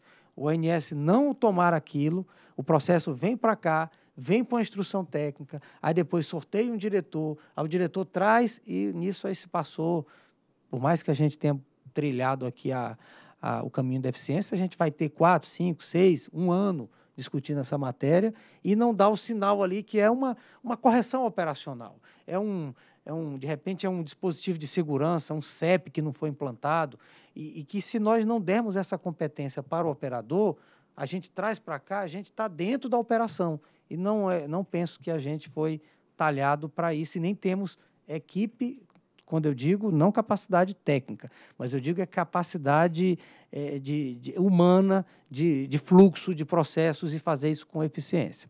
Então, eu terminaria o meu comentário dizer, dizendo o seguinte: é, a questão do que é pendência não impeditiva e impeditiva vai ser discutido isso e vai se chegar num ponto. Eu acredito que coisas simples, como o exemplo que foi dado, não podem também é, é fazer, trazer o condão de, de impedir a operação. Mas a gente tem que deixar um instrumento para corrigir, porque na transmissão eu me recordo, é, Elvio, que as, o, as pendências que faltavam era manual de equipamento. É, é, é simples, Ó, mas o ONS precisa ter o manual lá para manter o histórico do equipamento. O ONS tem rotina que acompanha as atividades mínimas de manutenção. Então, ele tem que ter lá a especificação do fabricante. Por exemplo, sobressalentes. Sobressalentes não eram é, apresentados. É, modelagem matemática dos equipamentos. Então, eu acho que eu, eu encerraria aqui dizendo que migrar para o modelo da transmissão é interessante, mas o ponto principal é saber qual é o enforcement, como é que isso vai entrar é, é, para a modicidade tarifária, por exemplo, se você reter, reter 10%, mas ele vai dizer que ele já negociou aquilo no ambiente livre e que a ANEL não pode mudar esse valor. Então, eu acho que o combinado não é caro. Então, acho que a gente tem que fixar isso já, porque se, ou colocar que a norma só entraria em vigor com isso já estabelecido. É o meu comentário. Eu sei, eu sei que a, a, diretora Agnes vai me perdoar, só para fazer aproveitar aqui um, um, o comentário do diretor é, Sandoval. Eu não tenho dúvida e sou muito favorável à delegação. Eu acho que é importante porque a gente cria realmente, a, deixa a ANEL como uma instância recursal na boa parte dos casos. É, mas eu, eu acho que aí, acompanhando o que disse o diretor Sandoval, eu acho que a gente precisa estabelecer qual é o, o rol de é, pendências não impeditivas, que para mim, modelagem matemática, ela é impeditiva, ela é, ela é impeditiva, a meu ver, para o operador, porque ele precisa saber qual é o modelo que está sendo utilizado para poder despachar, especialmente aqui quando a gente está falando de usina, né, usina de geração. É, e, e, por exemplo, manutenção dos tem que ter o um manual para saber qual é o qual é a, a, a sequência de manutenção. Isso para mim não é não impeditivo. Isso aí é impeditivo. Então é, é, é, é, isso, é esse contorno que precisaria ser estabelecido. Não me parece que seja impeditivo a falta do número do CNPJ da empresa num determinado é, formulário. Acho que isso não é impeditivo e a gente deveria fazer aí de novo aí um enforcement, quando, como disse o diretor Sandoval, para que realmente ele apresente. Aliás, eu nem precisaria que ele apresentasse, né? É só entrar lá na, na, Receita Federal, ou sei lá onde que está o CNPJ arquivado e, e ANEL pegar. Mas, enfim, esse é o, é o, ponto. Eu não, eu, eu, eu, não, eu não tenho aqui, um, eu acho que não é uma, uma, não é polêmico a gente ter aí a questão de é, delegar, inclusive, a, a, o cancelamento de operação comercial. Não é polêmico, eu acho que é um passo, para mim poderia ser diferente, mas é um passo que também não vai atrapalhar em nada a nossa vida já tão, tão cheia de, de, de atividades e tarefas que a gente tem que resolver. Só, só Agnes, antes de, da manifestação da doutora Agnes, só para me responder uma questão que o Sandoval colocou, é assim, no momento algum questionei a capacidade técnica da, da área. É só a questão de como o setor elétrico diversificou muito, a, geração diversificou muito, e a gente sabe que a agência está com um quadro defasado, um quadro com, com dificuldade de, de operação, é, não vejo outro caminho senão delegar essa capacidade executória, a capacidade de aumentar a nossa capacidade de fiscalização. Então, Agnes, por favor, desculpe aí. Tá? Imagino, gente. Estava ouvindo aqui é, bastante interessantes essas ponderações. Um, eu tenho só ponderações adicionais, estou super a favor da delegação também. É, e eu acho que é tudo é um processo que a gente pode sempre aperfeiçoando.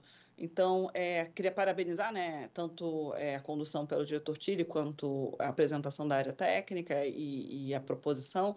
É, fiquei com uma dúvida sobre o portal único de entrada, que eu achei uma super é, iniciativa. Minha dúvida é se a ANEL vai ter acesso a esse portal. E na parte da delegação, é, o que interessa, eu acho que é mais para a gente, fora, claro, né, a gente manter a, a, a, a função de instância recursal, é, é, se existe algum tipo de prestação de conta e acompanhamento é, por parte do ONS para para né, para justamente a gente poder acompanhar esse trabalho, porque é muito bom saber né, que a ONS vai estar tratando dessas questões, mas em que medida a ANEL consegue acompanhando esse trabalho, já que está delegado para lá e que apenas aqueles, é, aqueles é, é, aqueles casos né, em que houver recurso subiriam então para a agência. Vou tentar responder aqui, Agnes. Se eu não conseguir, eu vou pedir auxílio à área até aqui. Mas a, primeiro que a agência vai ter acesso ao sistema e ela que vai efetivamente dar um cheque e autorizar. Então, assim, apesar da, do ato ser pelo, pelo INSS, mas vai haver um cheque, um cheque por parte da ANEL é, eu não sei se a transmissão também é assim, né, né Sandoval? Só, só me engano, isso. Há um cheque, então, assim, eu vejo que esse acompanhamento é feito nesse momento, porque quem vai autorizar aqui da agência vai olhar se aquilo ali está em, em, conformidade com a norma. É, é, o comentário é esse que, que o diretor Ricardo fez, é exatamente assim, a, tem um sistema integrado que é uma plataforma única, que na minha época se chamava CIGET, eu não sei se já mudou, e onde o ONS ele, ele aprova o TL e a ANEL faz a aprovação também. Tem uma etapa de análise de, de, dessa dentro das áreas, dentro da área de fiscalização da agência. Não sei se já evoluiu, mas era algo nesse sentido. E eu acho que no processo de fiscalização do ONS, aí sim a fiscalização, quando eu era superintendente, nós fazíamos fiscalizações é, rotineiras, periódicas, no, nos processos do ONS, entre eles esse processo de emissão de termo de liberação. Até mesmo porque, nesse momento, está sendo aprovado Receita. Então, a Receita tem que ter, para ser aprovada, ela tem que estar adequada com determinados parâmetros. E fica dentro do sistema o servidor que aprovou aquela, aquele TL. Obviamente, aqui também nós teremos uma rastreabilidade para saber quem aprovou, quem deu a palavra final na aprovação daquela usina. Eu acho que, acho que o único ponto que eu também queria destacar aqui, em complemento à fala da Agnes, mas reforçando o que eu tinha dito antes, como é que vocês estão pensando com relação a esse enforcement? É, porque eu acho que esse ponto ele é, ele, é, ele é importante nessa discussão. Porque se nós, de novo, não destacarmos qual é o ponto, para onde vai essa, esse, se for financeiro, se é possível fazer isso, porque, como eu dito, né, como foi dito, para empreendimentos que já estão em operação, eu acho difícil, e já está em operação, que o ponto principal da discussão é a entrada em operação, mas para quem não entrou em operação ainda, como é que vocês estão pensando de, de dar essa, esse enforcement? Não sei se a resposta, acho que não tem ainda, mas era bom não, a gente que, pelo menos O que tentar... a gente tem na, na, na resolução é um prazo hum. para o INS... Podia pedir auxílio a SF, SRG ali, o Cantarino, que está aqui, o superintendente, ou, ou o Rodrigo, da SFG, eu não sei quem pode esclarecer melhor. Mas tem um prazo para ele estabelecer, e, assim, e esse, na minha visão, esse, esse, esse momento de aprovação é, vai ser via sistema. A ANEL, a ONS entendeu que está tudo, tudo dentro do requisito, a ANEL chega aqui e dá o ok, é lógico, com a verificação de tudo. Não é isso? Bom, diretores, bom dia. É, tentar passar por alguns aspectos importantes, começar por esse ao final, diretor Sandoval, se eu compreendi bem a questão, né, de como é que nós faríamos o enforcement das pendências, né? Isso. É, no processo atualmente em vigor, o ONS já emite declarações de atendimento ao procedimento de rede com pendências não impeditivas, pouco que o diretor Elvio apresentou. E no debate em torno dessa evolução da norma, o que nós identificamos é que talvez nós precisássemos fazer uma discussão ainda nesta origem, se de fato aquilo que hoje está caracterizado como pendências não impeditivas, de fato o são, porque nós temos indicações de pendências não impeditivas que estão por anos. Então a gente entende que esse é um debate que na sequência deve vir acoplado de estabelecer um bom enforcement, né? É, no processo atual, depois se os colegas da fiscalização quiserem acompanhar, é, foi feito o enforcement tradicional, diretor Sandoval. Né? Então, assim, foi elencado um rol de empreendimentos que tinham pendências não impeditivas a partir de um determinado momento e se usou é, as estruturas de fiscalização usual e aí posso aqui antecipar que os resultados não foram é, promissores, né? Ah, os agentes continuaram com um nível de, de, de pendências ainda em aberto bastante elevados. O que nós discutimos com o diretor Tilly ao longo do processo, e parte disso é, ficou representado na própria abertura da consulta pública, é que o processo de fato é tão relevante que talvez valesse a pena a gente fazer uma análise mais contundente, mais aprimorada. Inclusive, novamente, né, voltando nessa discussão daquilo que hoje o INS classifica como pendências não impeditivas. Então, na medida em que essa evolução, que é algo já demandado pela diretoria há longo tempo, ela traz uma evolução, inclusive, do processo inclusive da rastreabilidade das informações, a gente estava né, com uma programação aqui interna junto com a área de fiscalização, de que uma vez é, evoluída essa etapa, a gente começaria uma discussão complementar, é, e aí com o NS, eventualmente com as outras áreas de regulação dos serviços do fio, por exemplo, que uma das alternativas discutida lá no passado seria eventualmente você fazer uma oneração do encargo do uso. Só que a gente precisa estudar alternativas, né? Quais seriam essas alternativas? E, e, portanto, essa, essa parte ela não constou da análise, mas de longe é, não está sendo entendida como uma situação é, importante, relevante, que as áreas, e aí tanto de regulação quanto de fiscalização, precisarão ficar atentas. É, acho que, de uma maneira geral, para esse ponto, eram essas observações. Ou seja, então nós não temos aí uma, uma, uma visão ainda clara do, de que enforcement seria esse, né? É, do ponto de vista de incentivos regulatórios, a gente entende, diretor Sandoval, que é, teremos que percorrer aquele processo de avaliar ah, o problema regulatório, identificar alternativas e aí sim propor eventualmente avanços normativos e até com instrumentos novos de, de, de, de fiscalização. o enforcement continuará sendo feito, continuará sendo feito com o processo hoje tradicional que a área já desenvolve, que é que eu posso aqui mencionar, né? Assim, tem todo um acompanhamento do tempo em que os empreendimentos ficam na condição de teste, quais são os empreendimentos que têm operação comercial com pendências e periodicamente fazer esse trabalho. É, mas a gente já sabe que os efeitos não têm sido a contento. Eu não entendi muito bem o que está sendo proposto pelo, pelo superintendente. Está é, me parecendo que ele está dizendo assim: podemos aprovar a resolução, mas tem uma pendência não impeditiva né, em relação não, a Deixa, a, deixa, deixa eu tentar, deixa eu é tentar isso? clarear aqui. Se eu estiver errado, Cantarino, posso me interromper. Aqui nós estamos tratando de a delegação, da maneira que o procedimento é feito hoje, delegação para o INS e, e, e melhorando o procedimento através da, da informatização criando o sistema. O que, que diferencia basicamente esse processo da, da transmissão? Que a transmissão tem uma RAP, uma RAP, não é isso? É. Isso. Uma RAP, e você consegue penalizar na RAP. Na geração você não tem isso.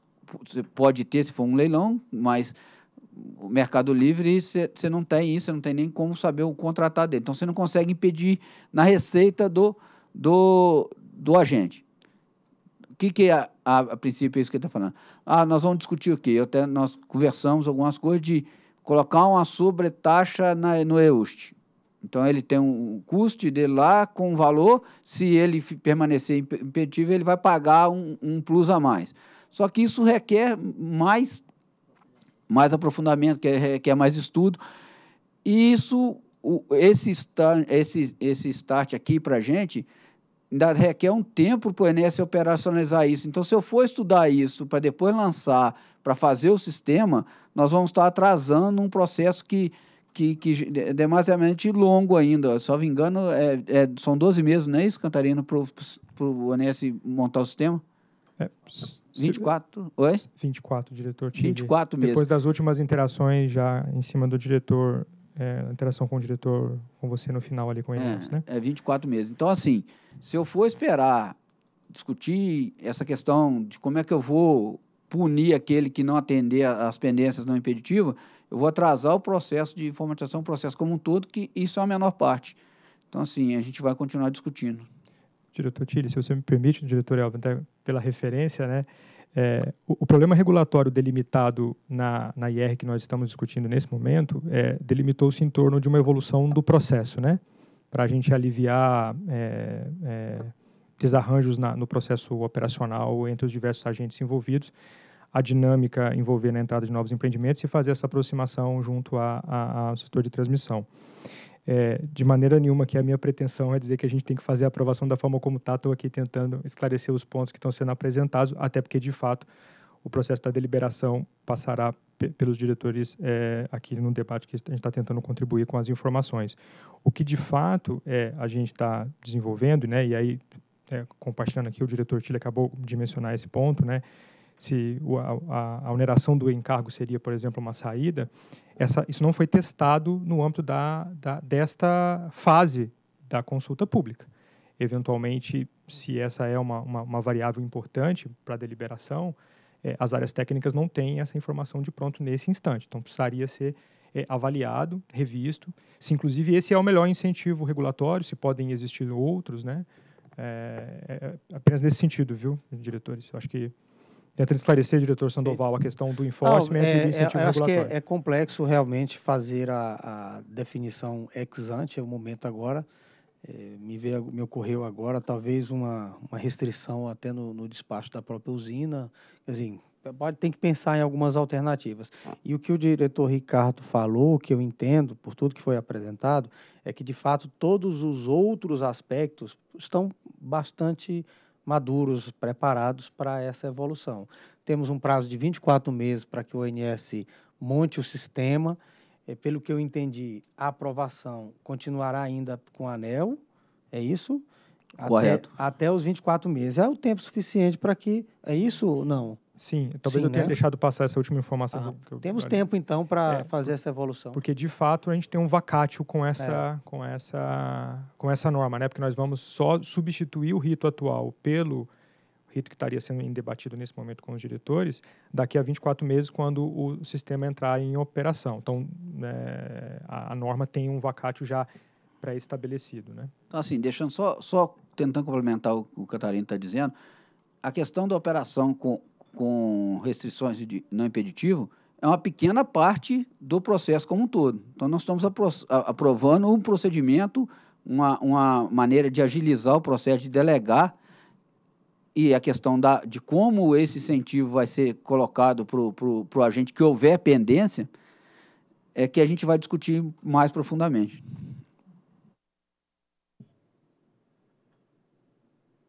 É, deixa eu também fazer uma pergunta aqui em relação a esse prazo de 24 meses. É, o que, que, é tão longo? Por que, que é tão longo assim, 24 meses, para desenvolver um sistema? Por que, que o ONS, fazendo a pergunta de forma diferente, por que, que o ONS precisa de 24 meses para desenvolver um sistema? Que ele pode, inclusive, contratar serviço. Então. Tá. Diretor Elvio, assim, o que, que nós temos de informação? Né? É, esse, esse, prazo ele foi sendo debatido com o INS desde o começo né, da discussão. A nossa proposta nessa etapa final de análise de contribuições era um prazo de 18 meses, né, é, junto com o operador.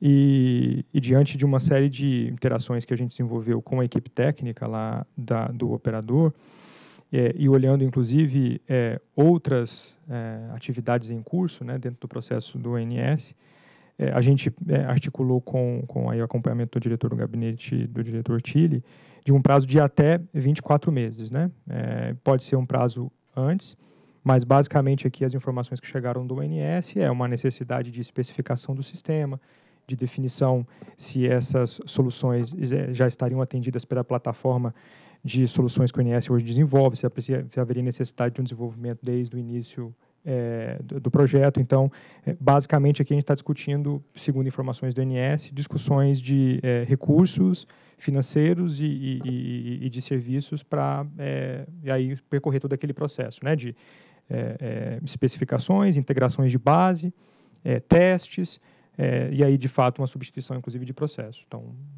foi uma discussão apresentada em detalhe pelo operador diante dessas linhas de atuação.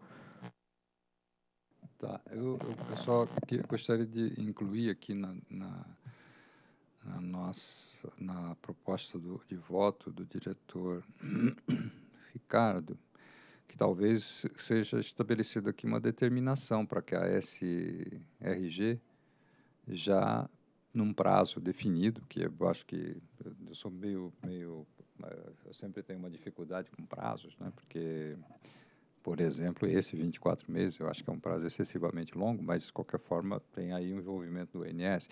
Mas talvez determinar que a SRG, num determinado prazo que poderíamos discutir, já faça os estudos para estabelecer o que, que é impeditivo, o que, que não, é, não é impeditivo. Porque eu acho que esse é um ponto muito importante, né? porque senão a gente vai ter, como já existe, né? É, empreendimentos aí operando por, por décadas, décadas acho que é exagero, mas por muitos anos, sem é, com pendências chamadas não impeditivas. Mas pelos exemplos que foram dados aqui, tudo eu achei que é, que é impeditivo. Modelo matemático né, para despacho, é, reatância de linha, como foi o caso da, da, da, que é o caso das linhas de transmissão, eu acho que tudo isso, qualquer coisa mais importante do que do que é, reatância ou é, modelo matemático para despacho de usina. Né? Então, parece que isso é impeditivo e não não impeditivo. E parece que nós estamos considerando como não impeditivo coisas que são realmente importantes para a operação. É, então, é uma discussão, assim, se quiser trazer a diretoria, mas eu acho que essa discussão é uma discussão muito técnica que devia estar no procedimento de rede. Não vejo que cabe a gente aqui definir o que é impeditivo, modestamente, aqui, na minha opinião. É, isso é um, deveria ser feito por procedimento de rede. Na, na, realidade, só me permito aqui, é feito na discussão dos procedimentos de rede. A ANEL participa dessa, Sim. da qualificação desses, dessas pendências. É assim na transmissão e seguramente será assim também na, na geração. Ou seja, não há possibilidade do, do ONS fixar isso de forma unilateral. Isso terá que ser feito por meio de, de discussão é, consulta pública, audi em audiência pública, se for o caso, mas seguramente verdade, não é aqui, na não, diretoria. Mas isso mas, já existe, né? isso. né? Porque, na verdade, nós estamos discutindo uma coisa aqui que hoje já tem. Hoje, hoje o, né, o, só, em vez dele dar a, a operação comercial, o despacho de operação, ele dá o, o teu termo lá, que eu não vou lembrar aqui qual que é, o termo que a ANEL pega e omite isso. Olha, autorização de, de declaração de, de, declaração de, de, de, de atendimento dos procedimentos de isso. Rede. E ele lá já classifica como o que é o que não é impeditivo. Acho que isso não vejo como essa, essa norma está mudando isso ou está tá, tá, tá criando mais ou menos operacional. Nós estamos simplesmente tratando de operacionalização do sistema. Agora, concordo com o Elvis, se a gente tiver que rever, é, é, revisitar como é feito, como é que está no, no, no, procedimento de rede, não vejo problema em revisitar. Mas isso já existe. Tá? Nós estamos tratando aqui simplesmente do, do, da, da modelagem do processo. É que, na verdade, parece que houve uma certa convergência de que é, algumas coisas precisariam, na, no não impeditivo, algumas coisas precisariam ser revistas. Né? Se está no procedimento de rede, então nós precisamos retornar lá ao procedimento de rede para que fazer essa avaliação. E, e, e tem que ser determinado a reavaliação em algum momento. Me parece que este pode ser o momento. Né? Então, não tenho, eu não tenho problema nisso. A gente pode colocar no voto e aí sim, não só determinar isso, e determinar também que faça estudos lá para ver qual o, o, o, incentivo regulatório que a gente, que a gente possa dar. Tá? Vou preparar uma parte, um, um, um no dispositivo nesse sentido, então. Tá certo. Apenas para voltar àquele ponto inicial, que eu acredito que já foi estressado, essa parte de ter impeditivo ou não. Quanto ao aspecto recursal, após agora confesso, tomar conhecimento que teria vacância de 24 meses, não tinha ficado claro para mim que teria esse decurso de prazo para implementar o que é o resultado dessa deliberação em termos de, de resolução. Eu observo que no voto também tem ah, uma consideração em relação à manifestação da Abrajet, que caminha nessa linha do que tinha sido pontuado, e falando que Está em discussão o processo decisório do INS, está na nossa agenda regulatória de 23, 24. Então, era basicamente para tentar entender de que modo que essa nossa é, delegação, ela, de algum modo, seria tratada para poder fazer com que o processo decisório do ONS ele fosse é, pleno em termos de delegação, mas respeitando aquilo que seria a nossa atribuição recursal. Eu não sei qual da superintendência eventualmente poderia pontuar como que está sendo tratado isso, que está no, que está no item 38 do, do voto. Diretor Fernando, é, aqui, é, a gente tem sim na agenda hoje regulatória um projeto que está compartilhado entre a SRG e a SRT, é, objeto já de algumas interações entre as diretorias do, da, da ANEL e a diretoria do ONS, para que a gente possa identificar uma, uma, uma um avanço é, dentro do processo decisório, trazendo, inclusive, algumas referências que o próprio diretor-geral já mencionou ao rito da CCE hoje. Né? Então, estabelecendo é, para determinadas rotinas do operador quais serão aquelas em que o operador, uma vez tomada a decisão devidamente fundamentada, deve, inclusive, estar estabelecido um rito daquilo que pode ser impugnado agência. Então, o que nós estamos apresentando aqui, e estamos nesse debate exatamente agora de definição de escopo com o operador, a gente vai identificar, então, processos do operador que estariam sujeitos já de imediato a essa nova estrutura é, normativa que a gente está procurando desenvolver. E aí, o que nós já discutimos com o diretor Tille, que faz todo sentido que esta é, preocupação aqui trazida pela, pela Brajet, endereçada pelos diretores, seja levada para o âmbito daquela discussão, então que no final desse processo a gente já tenha o encaminhamento nessa linha. A nossa programação hoje da agenda regulatória para esse processo, que até o final do ano a gente quer deliberar com a diretoria, a diretoria colegiada essa introdução. Vou aqui né, resumir de uma é, pedidos de impugnação, eventualmente, a ANEL de decisões do ONS. Então, a gente espera endereçar essa a, a atividade da agenda até o final do ano de 23. Excelente.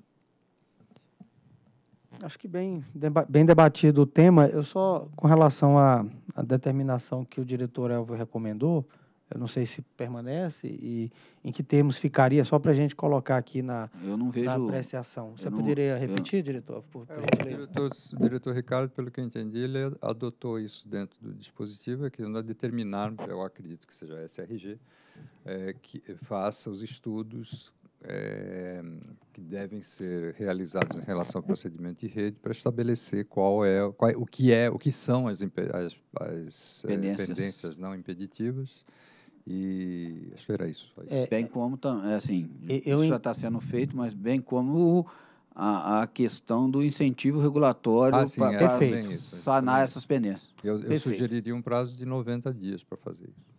É, é só, é, deixa eu, com relação ao prazo, deixa eu tentar é, colocar a seguinte questão em perspectiva aqui.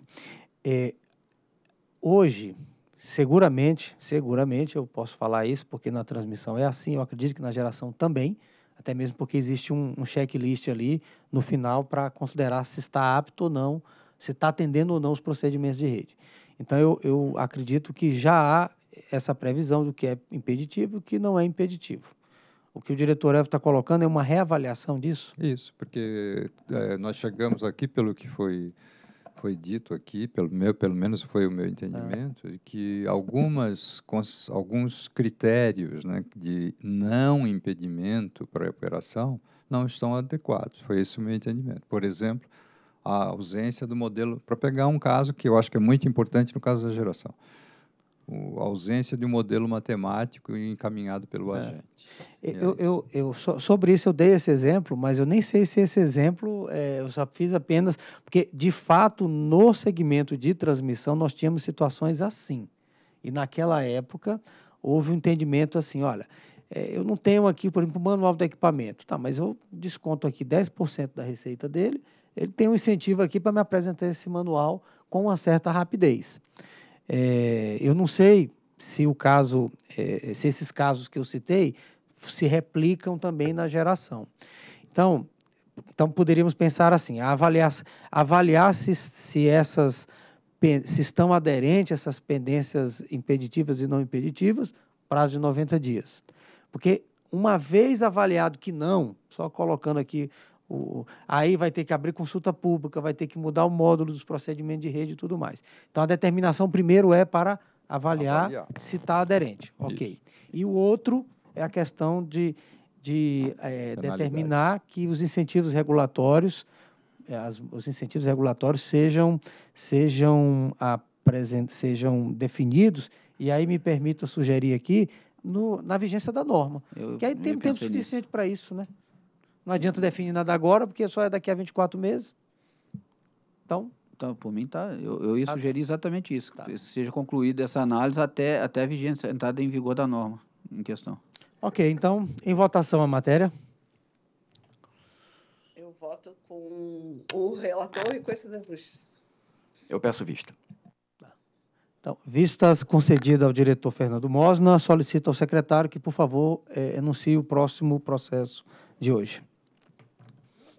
Item 4, processo 48.500.008306-2022, dígito 13. Assunto: pedido de impugnação interposto pela Rio City Gestão Imobiliária Limitada em face de decisão da Câmara de Comercialização de Energia Elétrica, CCE, em sua milésima, duzentésima, nonagésima reunião referente à solicitação de adesão. Diretor relator Elvio Guerra.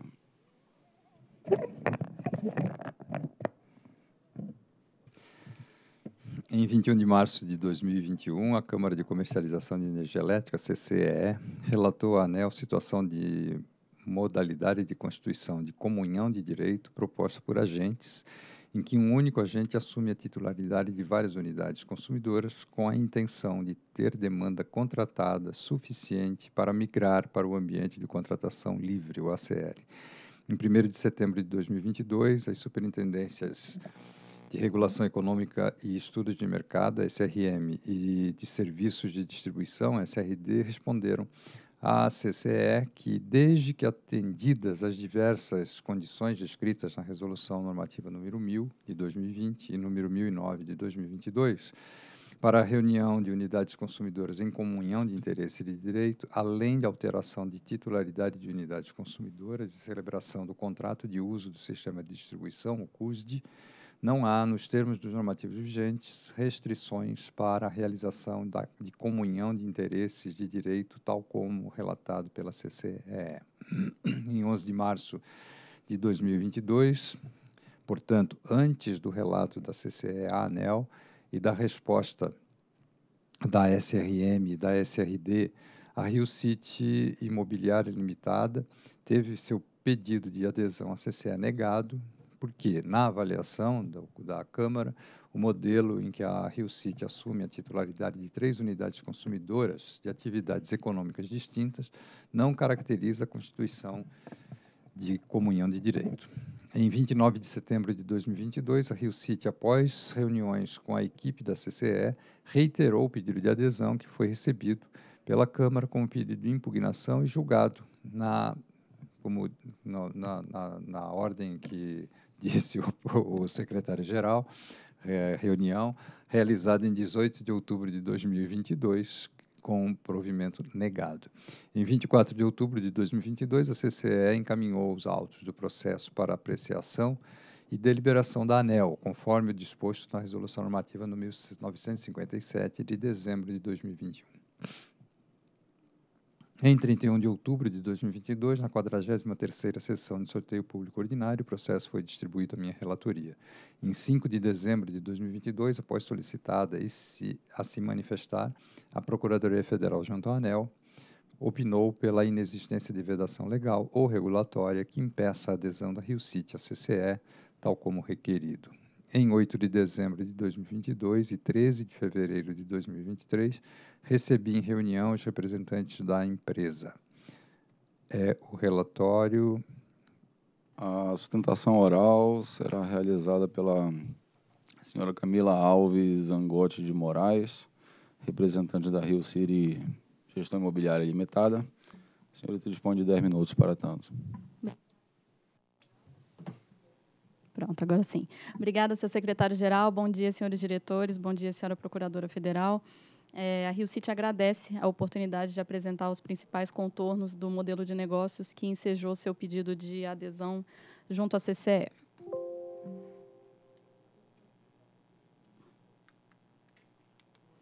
Bom, inicialmente, é, nós gostaríamos de sintetizar aqui que se cuida de um modelo de prestação de serviço de gestão.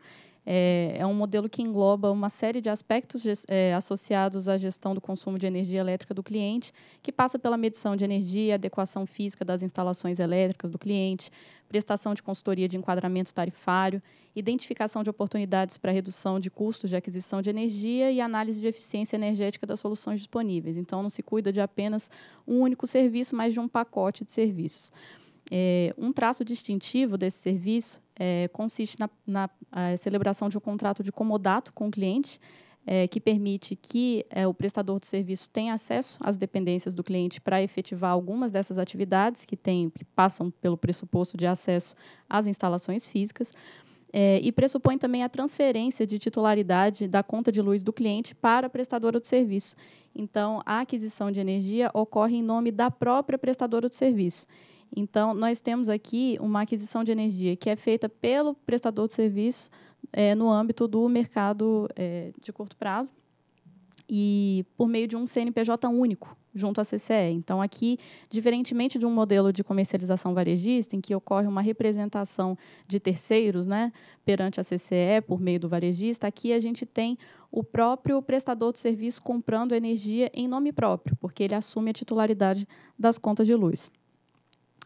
E aqui é, nós entendemos que esse modelo de comunhão ele atende perfeitamente ao que prevê o que prevê o artigo 26, parágrafo 5 da Lei 9427 de 96, porque a gente está aqui é, diante de uma situação em que ocorre uma comunhão de fato, né? Primeiro, porque os consumidores se reúnem para encontrar um prestador de serviço único e comum, com vistas a essa gestão do fornecimento de energia, e também uma comunhão de direito que é caracterizada justamente por essa relação jurídica é, entre os contratantes e o prestador de serviço. E aqui nós mostramos rapidamente que esse modelo está perfeitamente aderente ao que dispõem as normas da ANEL em vigor. Em primeiro lugar, é, está aderente à Resolução Normativa 1009 de 2022, principalmente é, o que dizem os artigos é, 167 e 162 daquela norma, que exigem que essa representação é, seja feita perante a CCE por um único CNPJ, o que aqui está perfeitamente atendido, como já vimos. E também se atende à Resolução 1000 de 2021, que faculta a distribuidora, no momento da transferência de, de titularidade, que é, o novo titular apresente uma comprovação de posse do imóvel. Então, o contrato de comodato ele se presta justamente a essa finalidade e, embora seja apenas uma faculdade da distribuidora, nem sempre acontece, ainda que venha a ser exigido, isso está também plenamente atendido. A gente traz ali um pedacinho é, da proposição de voto do diretor-relator, que gentilmente disponibilizou na página da internet com antecedência seu entendimento.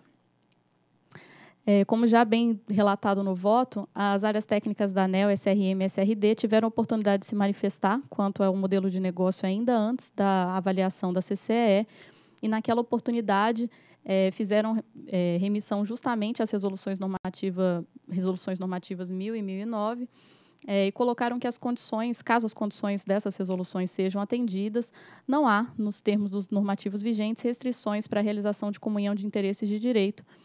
É, e continuaram é, dizendo que a satisfação das condições objetivamente estabelecidas na regulação é condição necessária, mas não só necessária, mas suficiente para a configuração da comunhão na forma pretendida pelo interessado. Então, uma vez atendidas as condições, fica, com, fica configurada a comunhão dos consumidores para fins de migração. Nesse mesmo sentido, se pronunciou a Procuradoria Federal, já a pedido do diretor relator, por meio do parecer 360 de 2022, concluindo que o modelo de negócio proposto pela Rio City encontra respaldo na Lei 9427 e também nas resoluções normativas já citadas, 1000 e 1009, pelo que recomendou aí a, a aprovação do modelo. E aqui, por fim, nós trazemos o, dois pequenos trechos do, do voto do diretor relator, se ele me permite antecipar. É, foi endereçada especificamente a preocupação que foi colocada pela CCE nos autos com eventuais riscos que isso pudesse, que esse modelo pudesse trazer para o mercado.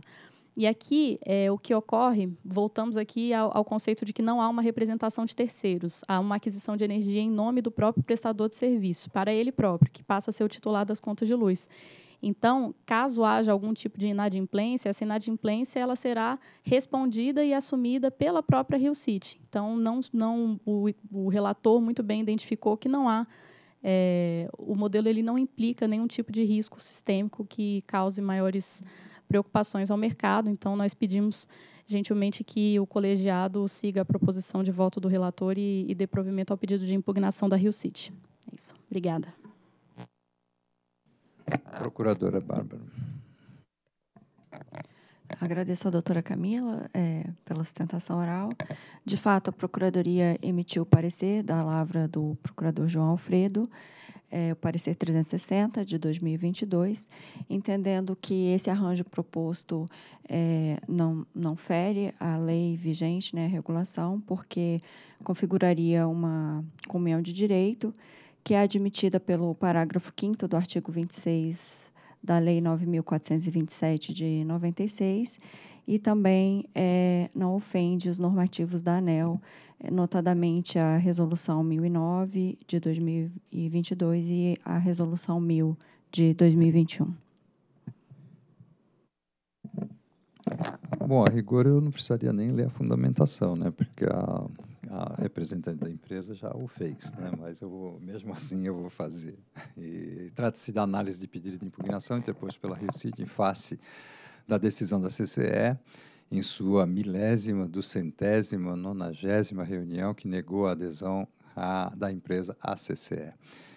É, a Rio City teve a transferência da titularidade de três CUSDs para o seu cadastro nacional de pessoa jurídica, o CNPJ, e assim passou a reunir sob seu CNPJ unidades consumidoras que podem exercer atividades econômicas diversas e que não são suas. Em síntese, a Rio City realizou um contrato de comodato com os antigos titulares dessas unidades consumidoras, tendo transferido a titularidade dessas para a, o seu CNPJ. Individualmente, essas unidades consumidoras não possuem demanda suficiente para migrar ao mercado livre, porém, em conjunto, sob um mesmo CNPJ, atende ao requisito mínimo para a migração.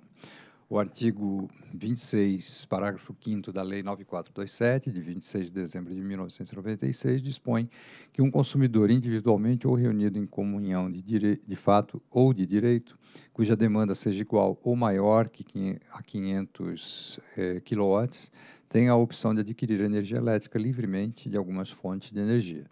Esse tipo de consumidor é denominado de consumidor especial e o tipo de energia adquirida de, denominada de energia incentivada.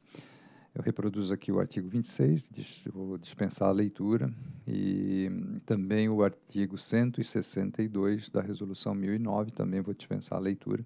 Conforme a regulamentação da ANEL, sendo os custos das unidades consumidoras celebrados por um, um, mesmo CNPJ, em tese estaria caracterizada a comunhão de interesses de, e de direito já que todas as unidades consumidoras estariam sob a titularidade de um único CNPJ. Desta forma, Rio City requereu a adesão à CCE via comunhão de interesses de direito. É, entretanto, na avaliação da CCE, esse tipo de arranjo formulado pela Rio City não condiz com o conceito de comunhão de interesses de direito estabelecido na regulação, que está associado à reunião de cargas sobre mesma titularidade que, isoladamente, não atendem ao montante mínimo para a migração para o mercado livre. Na interpretação da CCE, a Rio City atua, está, atuaria desempenhando função semelhante a um agente varejista, representando diversos consumidores, sem, contudo, ter se submetido aos processos de autorização perante a ANEL e habilitação junto à CCE, o que poderia comprometer a segurança do mercado. Por esse motivo, negou a adesão da empresa. Em fase, face de, da, dessa decisão, a Rio City interpôs pedido de impugnação. O artigo 40 da Resolução 957 de 2021 dispõe que das decisões proferidas no âmbito da CCE cabe pedido de impugnação à diretoria da ANEL quando contrárias às disposi a disposições normativas vigentes, devendo o agente indicar os dispositivos normativos tidos por violado. Isso, inclusive, foi discutido aqui e lembrado pelo diretor Sandoval quando discutíamos o caso anterior, é a possibilidade de a ANEL ser a instância de recurso, embora delegando para a CCE. A Rio City alega que criou o produto comercial diverso e que a atuação da empresa não se dá no, em regime de representação de terceiros, mas em seu nome próprio, na qualidade de titular das unidades consumidoras assumindo os riscos que o negócio impõe. Fundamentalmente, argumenta que não há na legislação e tampouco na regulação do mercado de energia elétrica disposição que impeça a empresa de a ofertar esse produto e aderir à CCE. Informa que apresentou os documentos probatórios à CCE referente à transferência referentes à transferência de titularidade das unidades consumidoras à Rio City, de maneira que todas estão atreladas a um CNPJ comum. De acordo com a, a peticionária, a, a empresa, é, ela tão somente requer a aquisição de energia elétrica no mercado livre, em seu próprio nome, pois todas as unidades geradoras estão sob o, o, seu CNPJ. Portanto, segundo a empresa, essa atividade não se confunde com a, a do comercializador varejista, pois com a transferência da titularidade dos antigos clientes à Rio City, ela estaria adquirindo energia para si própria e não para terceiros. Para a distribuidora alterar a titularidade das unidades consumidoras para a Rio City, ela deve observar o artigo 138 da Resolução 1000 e, em especial, o documento que comprove a propriedade ou posse do imóvel, no caso, o contrato de comodato. Por sua vez, a Rio City deve celebrar o CUSD em seu próprio nome, seguindo o disposto no artigo 148 da Resolução 1000. Desta forma, em síntese, a Rio City reuniu diversas unidades consumidoras em seu próprio nome e CNPJ, para ter demanda contratada suficiente para superar a barreira de 500 kW para a migração para o mercado livre como consumidor especial. O que se julga nesse pedido de impugnação é se o modelo de negócio proposto pela Rio City é lícito e não contraria a regulamentação sobre o tema. Em resposta à consulta formulada pela CCE, a SRD e a SRM não verificaram óbices na regulação atual para a construção, constituição do arranjo proposto pela Rio City. Entretanto, afirmaram que, diante da nova situação posta, irão analisar o tema para eventual aprimoramento aos critérios para reunião de unidades de consumidoras em comunhão de interesse de direito e ou para aumento da segurança do mercado de energia elétrica. Portanto, na avaliação da SRD e SRM, e cito que a SRM está aqui presente, com a presença do superintendente Júlio César e, e sua equipe, superintendente adjunto, é, Otávio e equipe da equipe técnica da área.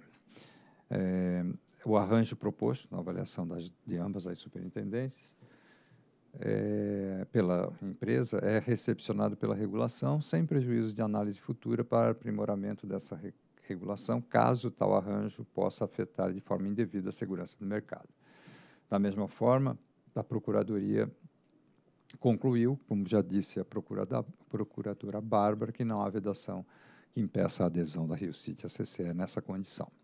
Na minha concepção, é correta a preocupação descrita pela CCE em relação à segurança do mercado e eventual distorção do mecanismo de comunhão de direito para consumidores especiais. Entendo que é função da CCE zelar pelo bom funcionamento do mercado de energia elétrica, monitorando situações que possam colocar em risco o desempenho do mercado, principalmente devido a ações individuais ou de grupo, grupo de agentes. E ela tem feito isso de forma muito eficiente. Entretanto, no caso posto, concordo com a análise empreendida pela SRM, SRD e Procuradoria Federal junto à ANEL, e não há na legislação e na regulação dispositivo que vede a adesão da empresa à CCE o arranjo proposto pela empresa é compatível com a regulação vigente. Em relação ao risco de mercado, pelo fato de as unidades consumidoras estarem em nome da Rio City, ela sempre irá absorver os riscos de mercado, inclusive de eventual inadimplência no mercado de curto prazo, ou da ausência de pagamento bilateral dos consumidores que realizaram o contrato de comodato com ela. Portanto, a bem da segurança do mercado, a Rio City passa passar a, passa a assumir todos os riscos que um consumidor especial é exposto no mercado de curto prazo, além do próprio risco de inadimplência bilateral. Um risco individual que, se eventualmente se traduzir em prejuízo, não deve contaminar o restante dos agentes do mercado. É, é, registro que esse é um leading case, um caso paradigmático, é, cuja decisão da ANEL terá repercussão geral. Negando o pedido de impugnação, nenhum outro agente de mercado poderá realizar o arranjo proposto pela Rio City. Porém, dando provimento ao pedido, abrem-se abrem as portas para um nicho de mercado com seus benefícios e riscos que pode ser explorado pelos agentes econômicos. Assim, a ANEL, especificamente a SRM, com suporte da CCE, deve monitorar esse novo tipo de arranjo e, na hipótese de antever alguma situação que possa transferir inadequadamente o risco individual de um agente setorial para o mercado, propor aprimoramento no regimento, no regulamento setorial. Desta forma, com base no exposto nesse voto e nos documentos julgados a esse juntados a esse processo administrativo, concluo que assiste razão a Rio City em seu requerimento, motivo pelo qual darei provimento ao pedido, proporei é, que se dê provimento ao pedido de impugnação interposto em face da decisão que negou sua adesão à CCE. Diante do exposto do que consta no processo 48.500.008.306-2022-13, voto por conhecer e, no mérito, dar provimento ao pedido de impugnação interposto pela Rio City Gestão Imobiliária Limitada, em face de decisão da CCE, em sua milésima, do centésima, nonagésima reunião, que negou seu requerimento de adesão à CCE. É o voto. Em discussão a matéria? Eu acho, doutor, o seu voto perfeito. Trata-se realmente de um caso emblemático, um primeiro caso de de, de um processo que pode vir ter uma, alguns outros nesse, nesse, nesse mesmo intuito, Agora, eu discordo da CCE no, em dois aspectos. Um é que ela diz que aumenta o risco do mercado. Eu entendo que o agente assume mais risco do que no caso de um comercial, numa comercialização varejista. Ele tá, a gente que se propõe a tomar o risco não só da, do, do custo da energia, mas da TUSD do consumidor. Então, ele assume não só o risco da energia, o mercado de curto prazo onde comprou, mas também o da TUSD do consumidor não, não pagar. Então, e, e, outro aspecto importante é que, efetivamente, na prática, apesar de concordar que não existe restrição legal e que a lei permite se faça, estão é, antecipando a abertura do mercado para o Grupo A, que vai acontecer em janeiro de 2024.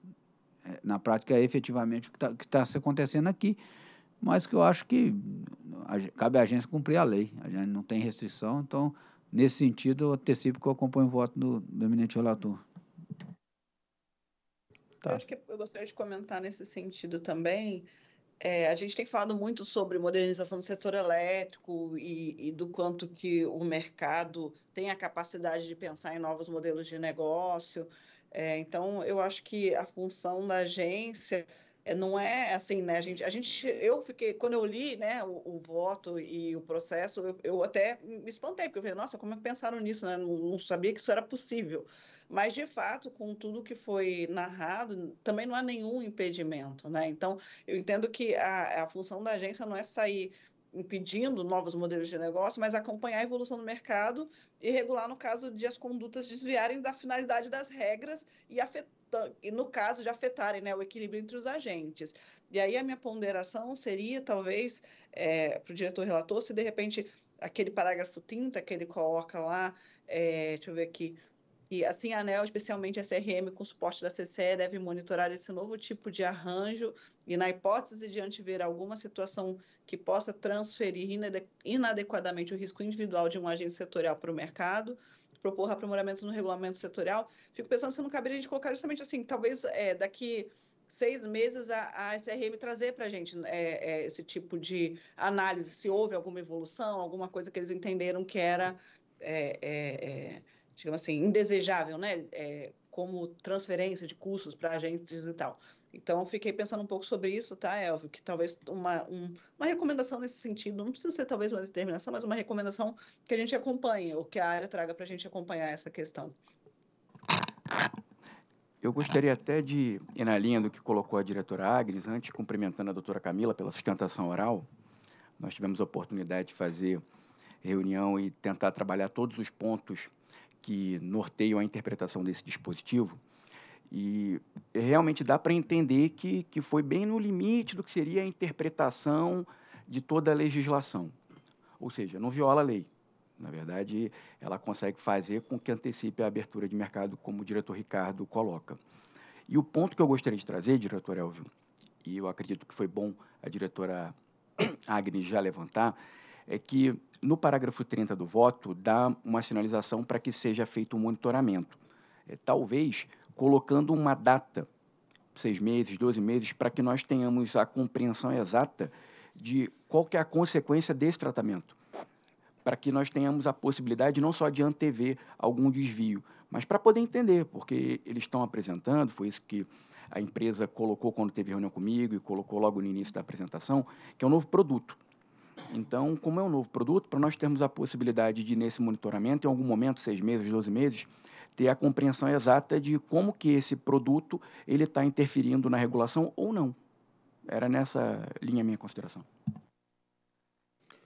Bom, eu, eu também tenho é, dois, duas reflexões aqui a respeito, é, diretor Elvio e demais diretores.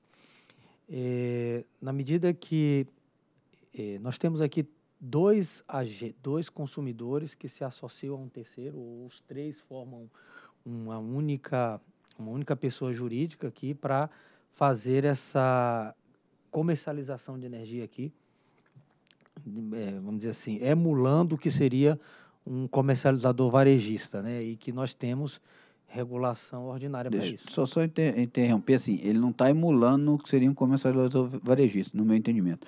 Ele está emulando aquela figura da, da, da Da- comunhão, comunhão da 482, comunhão de, de direito. De direito, Não perfeito. como se Não. fosse uma empresa com o mesmo CNPJ e que tivesse várias unidades. Ela hoje pode somar as demandas para participar do Mercado Livre. Não tem nada a ver com varejista. Tá? É só, só nesse ponto que eu acho que, que é importante esclarecer, porque a CCE faz esse argumento do, do comercializador varejista, é, mas ele não poderia, hoje, se fosse comercializador varejista, fazer isso só a partir de, de janeiro de 24. Então, o que ele simula e que ele emula, o que, o que ele adequa à situação, é uma situação com previsão legal, que é a, é a comunhão de, de fato e de direito do, do consumidor especial que está previsto lá na 482. Entendi. Só pra É, isso está isso tá definido, Não, está tá numa bom, fundamentação. é, do meu tá, eu- Ma- Mas, é, obrigado pela, pela, pela correção, mas eu, eu ainda insisto que há uma. uma é, porque da forma como a gente está vendo, por exemplo, nós poderíamos, se tivéssemos aqui uma rede de farmácias e um frigorífico, se juntando para fazer essa mesma operação. É, pela lógica, também haveria essa comunhão de direito, ou não. A resolução 482 lá, ela permite duas maneiras de comunhão de direito. As empresas que têm o mesmo CNPJ, vamos lá, rede de farmácia. Mesmo que seja um grupo, uma hold que tenha farmácia, posto de gasolina Tá. e, e- frigorífico, pode juntar. Pronto. A hold tem o mesmo CNPJ, pronto. E a outra é aquela. Ma- Mas uma holding, Não, ela, não, a estrito senso, ela não tem o mesmo CNPJ. Pode sim, pode ser. É, é, é, teria que analisar a questão da. é Mas só, só, só esclarecendo assim, desculpa, assim. E o outro caso é aqueles que estão no mesmo lugar, o caso de um shopping center que pode CNPJ diferente, mas estão na mesma localidade. Então, a- o que a resolução permite é isso. Empresas com o mesmo CNPJ em lugar diferente e CNPJ diferente no mesmo lugar.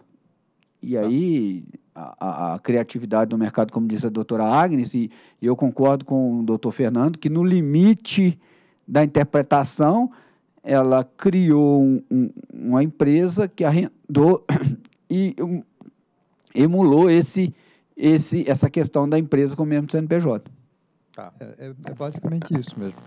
o- é um único CNPJ, o que lhe dá o direito de estar em comunhão. Né? Esse é o. Esse é o A- é, essa avaliação, ainda que não seja uma competência exclusiva expressa da ANEL, o impacto tributário desse arranjo, ela passou por alguma análise do relator?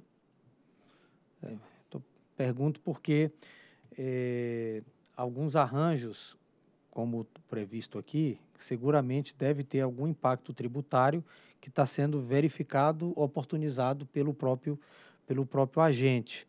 E era apenas para ter uma ideia se nós avaliamos isso, porque eh, é, é possível que haja aqui alguma redução de pagamento de impostos. Ainda que haja, não é ilícito, né? Porque a, otimização de pagamento de impostos ela é lícita, né? Então, se, Devidamente regulado pela, regulado, é pela claro. administração Isso. eh, pública, concordo, não tenho nenhuma, nenhuma retificação a fazer. Mas a, a minha, a minha questão era no sentido de que, vejam, nós temos uma, como o diretor Fernando falou, estamos no limite da, le- da legislação.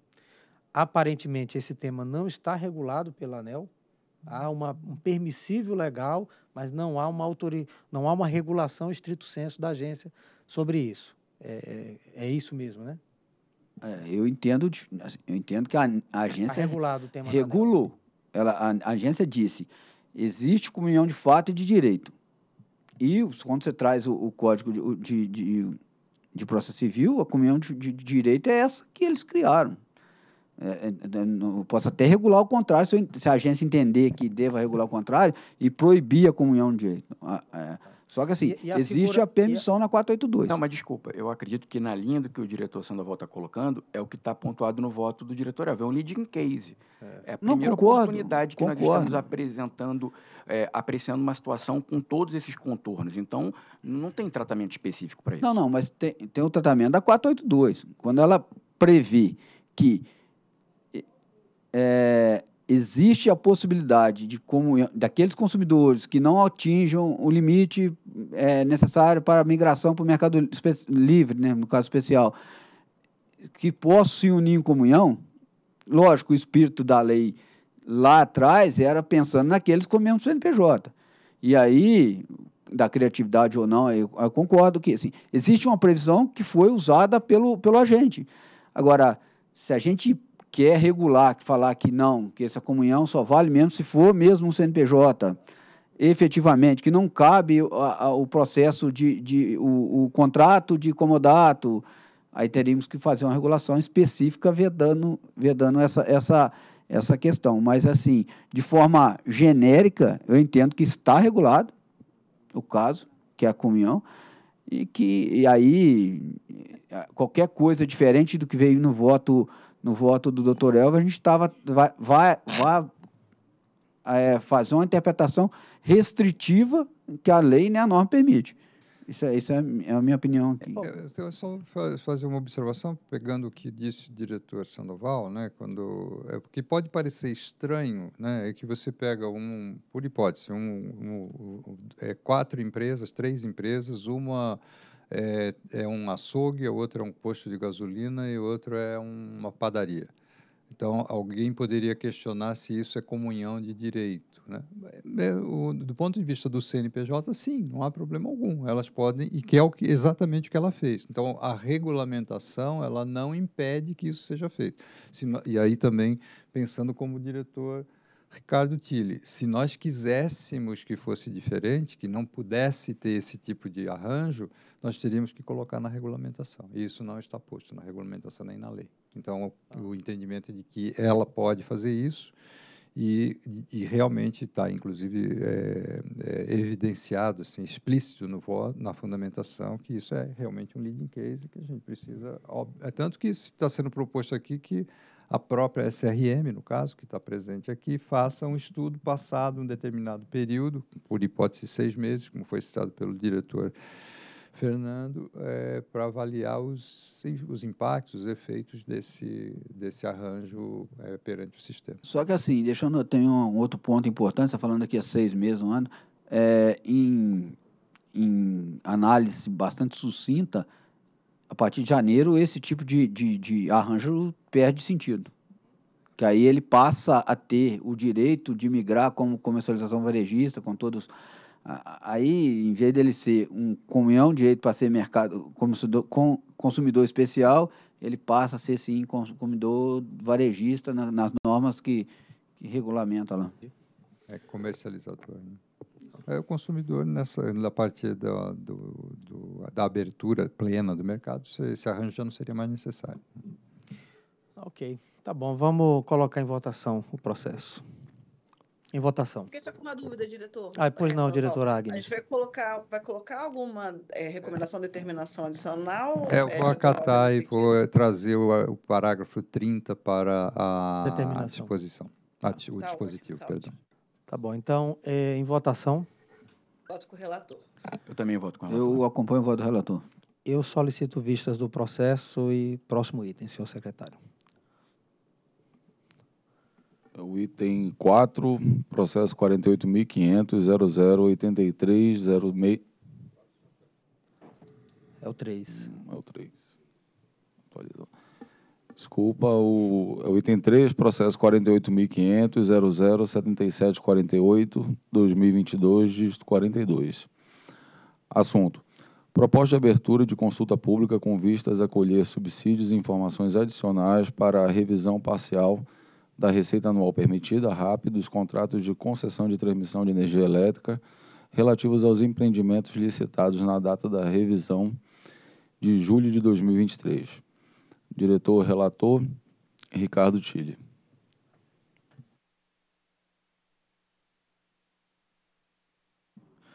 O submódulo 9.2 do procedimento de revisão tarifária ProRet estabeleceu as, os conceitos gerais e metodologia aplicável na revisão periódica dos contratos de concessão para prestação de serviço público de transmissão de energia elétrica otorgados mediante a licitação na modalidade de leilão público. Por sua vez, o submodo 9.1 do PRORET definiu a metodologia e os critérios gerais para revisão periódica de, das concessionárias de transmissão não licitadas, prorrogado nos termos da Lei 12783 de 2013. Apesar de tratar principalmente dos contratos prorrogados, o sub, submodo 9.1 estabeleceu conceitos e parâmetros aplicáveis a todas as transmissoras. A data de aplicação da revisão tarifária periódica RTP para ambos os conjuntos de contratos está definida no, no, em 1 de junho de 2023, consonante com submódulo sub, sub 9.2. A revisão periódica se fundamenta nos contratos de concessão específicos a cada transmissora, podendo abranger os seguintes itens. Eu não vou, vou ler os, os itens citados, é, passando para os cinco. Em 14 de fevereiro de 2023, por meio do despacho 402, a diretoria da ANEL determinou a postergação da revisão dos reforços e melhorias relacionados ao item C para 1 de junho de 2024, bem como adiamento da entrega dos respectivos relatórios de avaliação e conciliação físico-contábil previsto no anexo dos submódulos 9.1 e 9.2 do PRORET. Desta forma, a revisão periódica das transmissoras licitadas será realizada de forma parcial em 2023, considerando somente a análise dos itens A, B e D supracitados. Em 16 de março de 2023, a, SC, a SGT emitiu nota técnica 42 de 2023, em que, para cada transmissora, calculou as respectivas revisadas das preliminares referentes às RAP ofertada na licitação, deduzido de eventuais outorgas e outras receitas, bem como os respectivos índices de reposicionamento. A superintendência recomendou que tais resultados sejam submetidos à consulta pública para aprimoramento da proposta de revisão. É o relatório. Procuradora Bárbara. É, como se trata de proposta de abertura de consulta pública, ainda não há uma questão jurídica a ser sanada, então a Procuradoria não se manifestou e não temos nada a acrescentar. Para trazer maior esclarecimento, eu solicitei a apresentação técnica da SGT, que será feita pelo servidor Eduardo Serrato Mendonça Ribeiro. Bom dia a todos. É... Trata-se então da abertura dessa consulta pública, que acontece todos os anos, para a revisão tarifária da receita anual permitida das concessionárias licitadas, não incluindo então as, as prorrogadas. É, eu peço permissão para fazer um breve histórico do que se trata e como esse processo se insere no geral nos próximos. Acredito que esteja aqui. Isso. Vamos lá, esse processo de revisão, na verdade, ele é um dos processos que a SGT realiza é, nesse primeiro semestre, ou em todo o primeiro semestre do ano, que começa é, de trabalhos, que começa em fevereiro e termina lá em junho. Como disse, dia 1 de julho, em princípio, é a data é, final para que todos esses três processos encadeados é, sejam finalizados. No caso da revisão, a gente, vai, a gente teria esse ano nove transmissoras prorrogadas para serem feitas para a revisão e 58 licitadas. E o que, que é feito nessa revisão?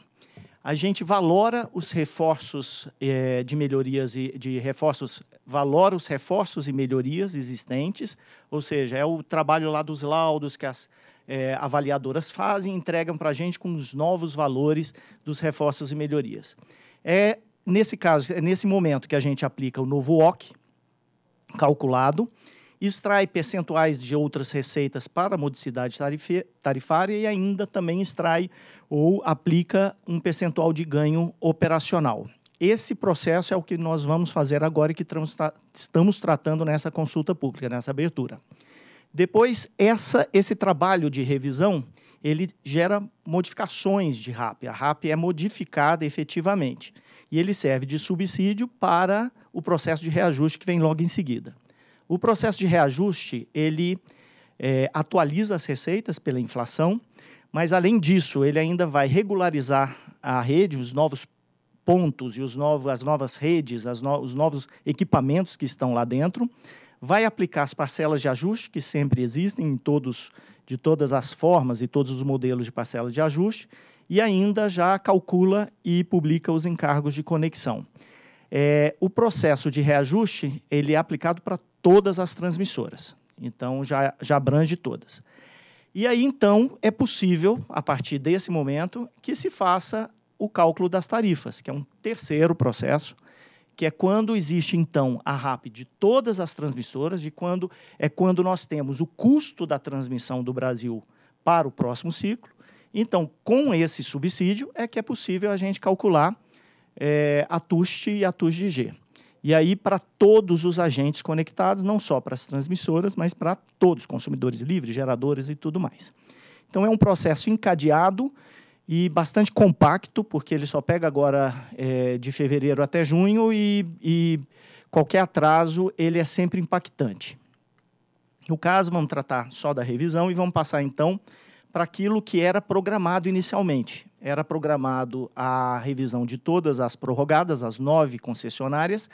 É, elas foram é, revisadas há cinco anos atrás, voltam a ser seriam revisadas esse ano. E das 58 licitadas. Mas a diretoria, é, pelo despacho 402, lá de agora de fevereiro, é, atendeu ao pedido da Abrat e postergou um parte desse escopo. O que restou foi dessas licitadas a gente revisar a RAP ofertada no leilão e a calcular as outras receitas, é, subtraindo ali e, e para a modicidade tarifária. Bem, e foi dessa RAP ofertada no leilão e essas outras receitas, então, que nós conseguimos já ter resultados é, é, provisórios, né, é, ainda preliminares, que nós estamos agora abrindo a consulta pública. Fazendo ali a lista das concessionárias, a gente é, é uma lista extensa, não dá nem para ler quem são, mas o que é interessante ali são as três colunas depois, que indica o seguinte: olha, todas as 58 têm RAP ofertada no leilão, evidentemente, porque elas são licitadas. Então, essa RAP que foi ofertada lá na, na no, no, leilão de cada uma, ela vai ser revisada é, como nós vamos expor rapidamente aqui após. É, a parte de reforço e melhoria está sendo prorrogado para o ano que vem, e a parte de outras receitas, a terceira coluna, de algumas delas. Então, são todas com RAP é, ofertada no leilão, mas nem todas possuem reforço e melhorias e nem todas apresentam outras receitas, como está exposto ali genericamente. Bem, o que, que é é, em grosso, grosso modo, o que é uma revisão da receita das transmissoras. É, possuímos, está é, é, é, tá tudo já escrito no contrato de concessão, seguimos os contratos de concessão, seguimos o edital da, da, licitação, então isso e, e, agora tudo registrado também no ProRet detalhadamente. Mas grosso modo existem três variáveis ou três parâmetros que são variáveis que é o custo do dinheiro, de você captar dinheiro lá fora, que já foi definido ali, ou é a TJLP, no tempo, as mais antigas eram do tempo do BNDES, que ele é, financiava. Então, é a TJLP, ou agora está sendo aplicado esse ano a TRM, que é uma taxa referencial de mercado, desde que a TJLP até já foi extinta, não foi aplicada de 2018, 2000, do, da, do, do, edital de licitação de 2017 para cá, já não existia mais TJLP desse, nesse formato. O custo do capital de terceiro, então, era calculado de, de outra forma. A ANEL se atualizou e, e nós estamos utilizando agora essa taxa referencial de mercado, que é uma taxa de calculada pela média das médias dos títulos do governo. Então, isso são é, parâmetros variáveis, que variam. A cada revisão, nós temos novas taxas, nós temos novos valores. E, além de tudo, o IPCA que muda é, todo ano e a gente aplica sempre o indicador mais atualizado. E, junto com isso, a gente pega todos os parâmetros fixos, aqueles que estão lá na, na, na no edital de licitação, que está na, depois foi refletido ali no contrato de concessão, que já está descrito e discriminado nos PRORETs, e utiliza esses essas variáveis, esses parâmetros fixos e variáveis e calcula um novo custo de capital de terceiros. Então, o âmago da coisa, o, a base é esse novo, novo custo do capital de terceiros, como se fosse um novo valor, um novo estimativa que a gente teria de como essas empresas poderiam se financiar com o capital de terceiros. Então, esse valor calcula-se um novo OC e aí aplica é, a cada uma daquelas 58 concessionárias.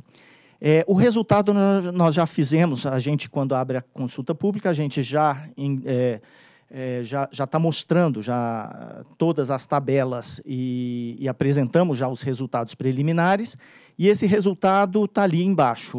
Vou genericamente, não vou apresentar de cada concessionário, evidentemente, mas somando todas, é como se a RAP, ofertada no leilão dessas 58 transmissoras, com essa revisão, preliminarmente, ela está passando de 4 bilhões e 46 milhões para 3 bilhões e 971 é, milhões.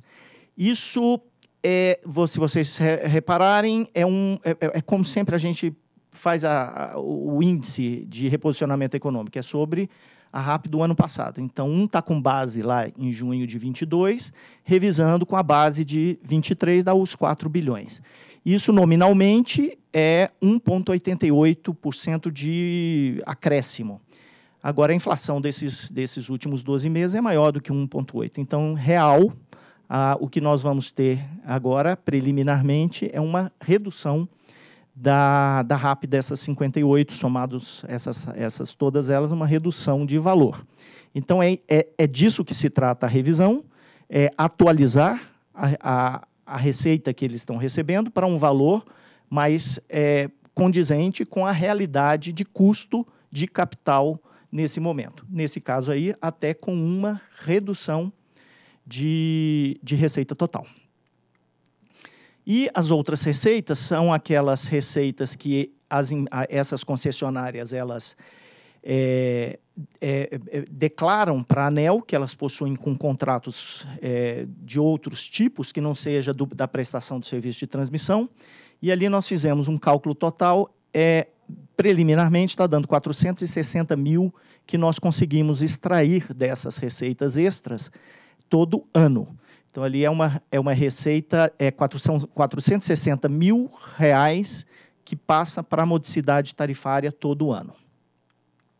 Bem, vocês me permitem também só é, explicar um pouquinho que esse ano nós tentando sempre melhorar, sempre é, dar mais oportunidade para discussão com as concessionárias e sempre tentando antecipar o processo, nós abrimos uma, uma tomada de subsídios de, em 17 de novembro, é, que ficou aberta até 31 de janeiro, foram é, dois meses e meio, é, para que, onde nós apresentamos essa tomada de subsídio, a gente é, divulgou todas as informações a, a, a, as quais, todos os subsídios, os valores que essas concessionárias precisam para calcular a sua revisão. Então, são aqueles parâmetros fixos, variáveis, que eu expliquei antes. Essas tabelas, é, elas foram é, checadas pelas concessionárias, eles tiveram aí dois meses e meio para verificar todas elas. Lembrando que, na época, ainda tinha a ideia de se fazer a revisão com os reforços e melhorias, e aí o volume é gigantesco para as concessionárias prorrogadas, é um volume gigantesco de reforços e melhorias, então era um trabalho que foi surpreendente de, de, em quantidade, a ponto da Abrat nos pedir o adiamento. É, Para vocês terem ideia, eram, só daquelas nove concessionárias prorrogadas, eram 15 mil obras que foram adicionadas e que essas concessionárias teriam que é, contratar a empresa, valorar esses, essas 15 mil obras. E foi esse susto que a Abrat tomou e, e, veio a ANEL pedir a prorrogação. Então, mesmo esses 75 dias não foram suficientes, pelo que a Brat é, alegou, não foram suficientes para que fosse feito todo esse trabalho. E o adiamento veio disso. Mas nós tentamos nos prevenir, é, abrindo essa tomada de subsídio anterior para in, indicar todos esses valores. E agora, em fevereiro, nós, já com o escopo já reduzido, a gente conseguiu buscar as informações, os dados que foram já aferidos pelas concessionárias e colocar em planilhas de cálculo e agora já apresentar esses cálculos. Então, o ofício que foi apresentado em 14 de fevereiro, ele já continha 58 planilhas com cálculos preliminares baseados naquele subsídio, naqueles valores que, no, que já foram aferidos e já deram ali o, uns valores preliminares bastante consistidos para que as transmissoras tivessem essa, essa ideia do que vai ser a, a, a revisão delas e o impacto dessa revisão. E agora, já na, na, na elas, elas, elas verificaram isso e apresentaram esses documentos e sempre apresentam questionamentos e apontamentos.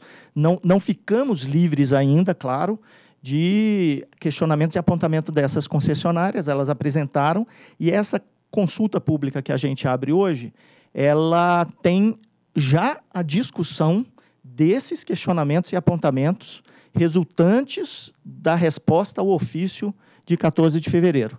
Então, eu coloquei ali, sem entrar em detalhes, que algumas desses questionamentos, desses apontamentos, foram é, acatados, nós é, incorporamos nessas planilhas, e alguns não foram.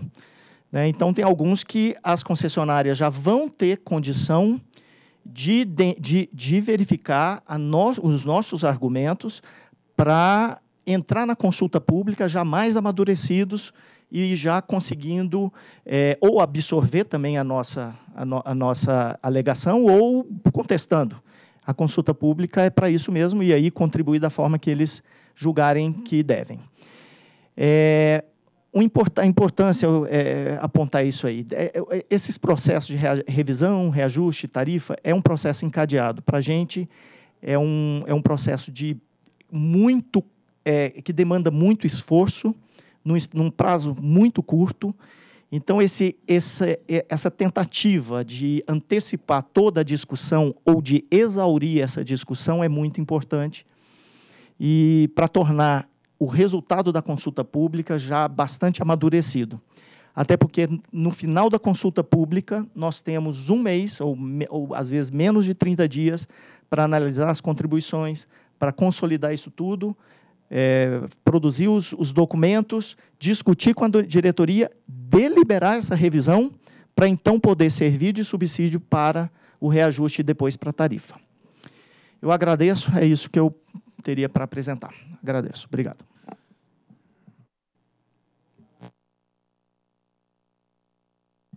Nós que agradecemos a apresentação, Eduardo, e tendo em vista a apresentação, vou pedir Vianney mais uma vez para ir direto ao dispositivo. Eu só queria destacar, doutor Elvio, doutor Fernando, doutora Agnes, que nós estamos tendo aqui um reajuste abaixo da inflação. Então, é um reajuste abaixo da inflação, um reajuste negativo, o que demonstra a eficiência da agência em capturar os ganhos de, de escala das transmissoras. Então, deixo aqui o cumprimento à, à SGT pelo excelente trabalho e pelo excelente resultado. E diante do exposto e, e considerando que consta do processo 48.500.00.7748-2022, voto pela instalação de consulta pública em formato de intercâmbio documental pelo período de 47 dias, de 22 de março a 8 de maio de 2023, visando obter subsídios e informações adicionais para aprimoramento de proposta de revisão parcial da receita anual permitida RAP dos contratos de concessão de transmissão de energia elétrica relativos aos empreendimentos licitados com data de revisão em junho de 23 é o voto.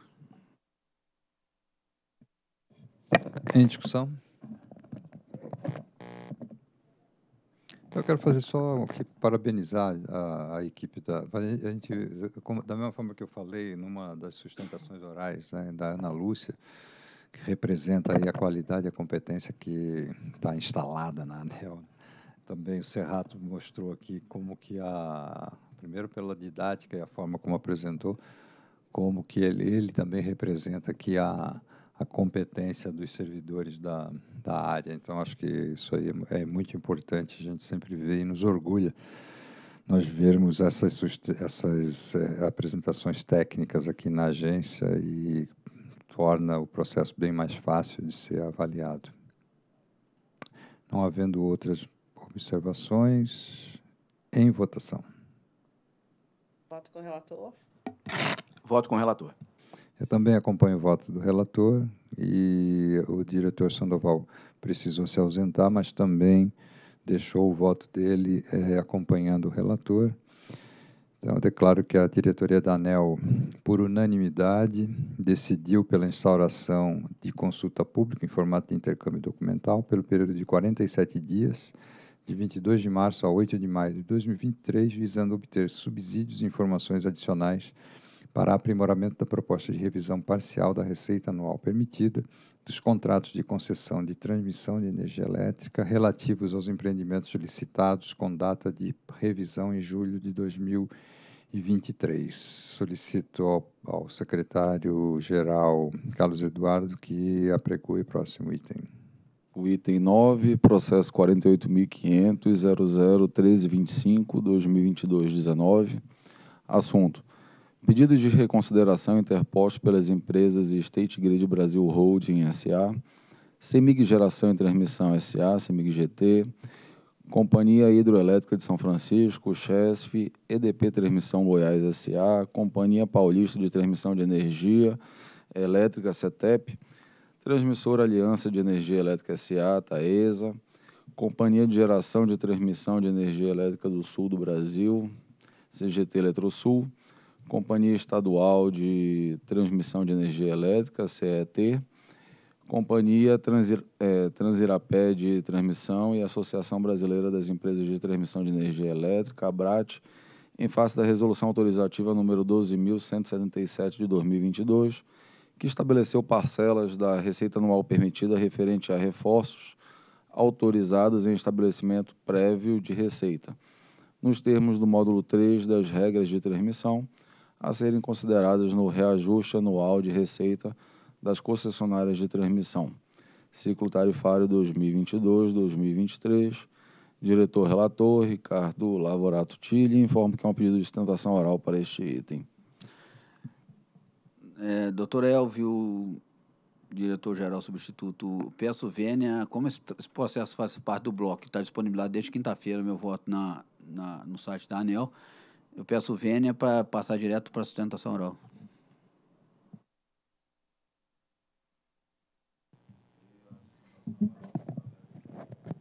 Ah, microfone desligado, desculpem. É, a sustentação oral será realizada pela senhora Thais Araújo Rato Tarelho, representante da Companhia de Transmissão de Energia Elétrica Paulista, CETEP. A senhora dispõe de até 10 minutos para tanto. Obrigada, senhor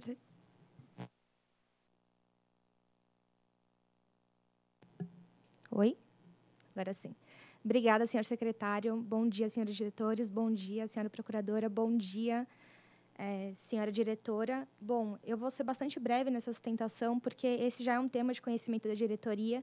Já foi debatido a semana passada, também sustentação oral, em outro processo que trata sobre o mesmo tema, de relatoria do doutor Elvio.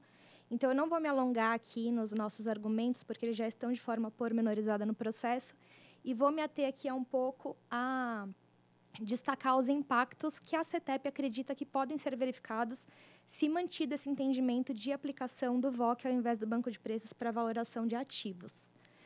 Bom, senhores, então, aqui trata-se de um pedido de reconsideração da ESA-CETEP em face da resolução 12177, que, além de outros temas, vai tratar também a respeito da aplicação do valor original contábil ao invés do banco de preços para a valoração de investimentos que não contemplam um módulo completo é, previsto na resolução homologatória que trata da, do banco de preços. Bom, embora então a concessionária né, mantenha o seu posicionamento discorde do que vem sendo utilizado por essa diretoria para a valoração desses ativos, como eu já disse, né, tendo em vista que a gente já discutiu esse tema aqui a semana passada e que a gente já tem os nossos argumentos no processo, a gente vai passar aqui a apresentar o que a gente considera de relevante, de impactos relevantes caso esse entendimento seja mantido para além do processo de reajuste tarifário. É, bom, senhores, e aqui, pra, é, como exemplo dessa afirmativa né, de impacto relevante, a gente trouxe dois, duas hipóteses, dois exemplos que podem ser avaliados. O primeiro, senhores, é relacionado ao processo de revisão tarifária, é, ao próximo processo de revisão tarifária da ISA-CETEP, que vai ocorrer aí entre 23 e 24. Bom, para que a gente tenha aqui uma ideia da grandeza, né, da quantidade de ativos que podem ser valorados ao VOC em vez do banco de preços, o que a gente precisa avaliar não é só o universo de autorizações, é, de autorizações, de resoluções autorizativas, né, de projetos efetivamente autorizados por meio de resoluções autorizativas, mas também o universo de melhorias é, que, que não são avaliados previamente pela ANEL e por isso não tem resolução autorizativa e que são inseridos di diretamente no SGPMR. Se a gente avaliar todo esse universo é, de ativos que não formam um módulo completo e que contemplam aí o que a gente tem de resolução autorizativa e o que está cadastrado no SGPMR, a gente chega a um montante de 900 milhões de reais na base de janeiro de 2023 que podem ser valorados ao VOC ao invés do banco de preços. Então, se esse entendimento for mantido, né, para além desse processo de reajuste, a gente teria aí no próximo ciclo de revisão tarifária 900 milhões de reais valorados ao VOC ao invés do banco de preços. Isso, senhores, para que você tenha uma ideia da grandeza, se a gente comparar com o processo de revisão tarifária anterior, da ISA-CETEP, em que era utilizado o entendimento anterior no sentido de que o banco de preços ele valorava também investimentos que não formam um módulo completo, a gente vai ter um comparativo de 140 milhões de reais no ciclo anterior, valorados é, pelo banco de preços, é, pelo VOC, perdão, em comparação com 900 milhões de reais que poderão ser valorados ao VOC neste processo de revisão tarifária. Um segundo exemplo que a gente traz aqui é, é mais relacionado ao ciclo 21-22. nesse ciclo 21-22, é, a gente tem aí né, uma gama de resoluções autorizativas que serão valoradas ao VOC. Isso já foi apresentado na reunião anterior, no importe aí de 32 milhões de reais. Mas, como eu disse, não é só isso que tem que ser considerado. A gente tem que considerar também o impacto que isso vai ter na revisão tarifária, que vai ocorrer lá em 2028. E só no ciclo 21-22, a CETEP cadastrou mais de 2.600 equipamentos no SGPMR. Todos esses equipamentos, eles são relacionados a melhorias, bens mais onerosos, e que, portanto, né, não são autorizados ali via resolução autorizativa, mas são executados e poderão ser valorados ao VOC ao invés do banco de preços. Então, senhores, a gente considera que essa análise né, deve ser levada em consideração para a aplicação é, da interpretação que vem sendo dada pela casa. E, no fim, a gente pugna, agradeço a, a, atenção dos senhores, e pugna pela aplicação do banco de preços para investimentos que não formam o módulo completo. Obrigada. Procuradora Bárbara, por favor. Senhores diretores, como se trata de uma questão relativa processo de revisão tarifária cuida eminentemente de aplicação de metodologias. Não houve nenhum questionamento à Procuradoria e, portanto, a Procuradoria não se manifestou nesse processo. Mais uma vez, peço Viane para ir direto ao dispositivo, só vou fazer alguns comentários a respeito da. da e já agradecendo a, a doutora Thais Araújo pela, pela sustentação oral. E sobre os pedidos relacionados à forma de valoração dos módulos incompletos a partir do banco de preço de referência da ANEL ou do VOC, informo que os, que os detalhes sobre os principais tópicos analisados sobre esse tema foram exaustivamente explorados na nota TEC 103 de 2023 da SCT e que considero necessária reapresentação. Como bem disse também a, a doutora Thais, esse assunto já vem sendo decidido pela ANEL, no caso concreto, em outros casos. Informo também que todos os pedidos estão sendo negados, como bem ela também já tinha é, explorado. Embora não aceite nesse momento nenhuma das alegações, informo que esse tema deve ser tratado no âmbito do processo de revisão dos submódulos 9.1 e 9.2 do PRORET, do que trata da revisão periódica da RAP das transmissoras, que está sob relatoria da diretora Agnes, Haja vista que as questões conceituais apresentadas pelos agentes demandam análise pormenorizado e devem, ao meu ver, ser tratado preferencialmente em sede de revisão das normas regulatórias e não no processo de aplicação da norma no, aos casos concretos. E, após a revisão das normas, caso, os casos concretos ou horas analisadas poderão ser revistos, se necessário, no processo de revisão tarifário periódico, como também já, já adiantou a defesa da, da, do agente aqui. Posto isso, peço vênia para ir direto ao dispositivo. Com apoio nessa fundamentação e considerando o que consta do processo 48.500.00325 de 2022, voto por conhecer os recursos administrativos interposto pela Associação Brasileira das Empresas de Transmissão Energia Elétrica, ABRAT, e as concessionárias de companhia, as concessionárias, Companhia Energética de Minas Gerais de Geração e Transmissão, CEMIG GT, Companhia de Geração e Transmissão de Energia Elétrica do Sul Brasil, Eletrosul, Companhia Hidrelétrica do São Francisco, Chesf, State Grid Brasil Holding SA, Companhia Estadual de Transmissão de Energia Elétrica C3E Transmissora, Companhia de Transmissão de Energia Elétrica Paulista ISA-CETEP, Transmissora Aliança de Energia Elétrica Taesa, Transmissoras Brasileiras de Energia TBE e EDP, e EDP Transmissora Transmissão Goiás S.A. Goiás S.A. E no mérito, dá parcial provimento no sentido de autorizar a emissão de resolução conforme minuto anexo para homologar as parcelas adicionais de RAP referente a reforços autorizações sem estabelecimento prévio de receita nos termos do artigo do item 2.4 da seção 3.1 das regras de, trans, de transmissão, a ser considerado no reajuste anual da receita concessionária de transmissão no ciclo 2022-2023. É o voto. Em discussão. É, bom, não tenho nenhuma observação. Diretora Agnes também não. Em votação. Eu voto com o relator. Eu também acompanho o voto do relator e declaro que é, o diretor Sandoval também deixou o voto dele. Ele precisou se ausentar, mas deixou o voto acompanhando o relator. Então, declaro que a diretoria da ANEL, é, por unanimidade dos presentes, decidiu por conhecer dos recursos administrativos interpostos pelas empresas citadas no dispositivo e no mérito dar parcial provimento no sentido de autorizar a emissão de resolução conforme minuta anexa para homologação das parcelas adicionais de RAP referentes a reforços autorizados sem estabelecimento prévio de receita, nos termos do item 2.4, seção 3.1 das regras de transmissão, a serem consideradas no reajuste anual de receitas das concessionárias de transmissão no ciclo tarifário 2022-2023. Esse era o último processo da pauta, portanto, eh, vou agradecer aqui a, a participação de todos, eh, participação aqui da, da Procuradora Bárbara, do Secretário-Geral Carlos Eduardo, dos diretores, da diretora Agnes, e declarar encerrada esta reunião pública ordinária da diretoria da ANEL.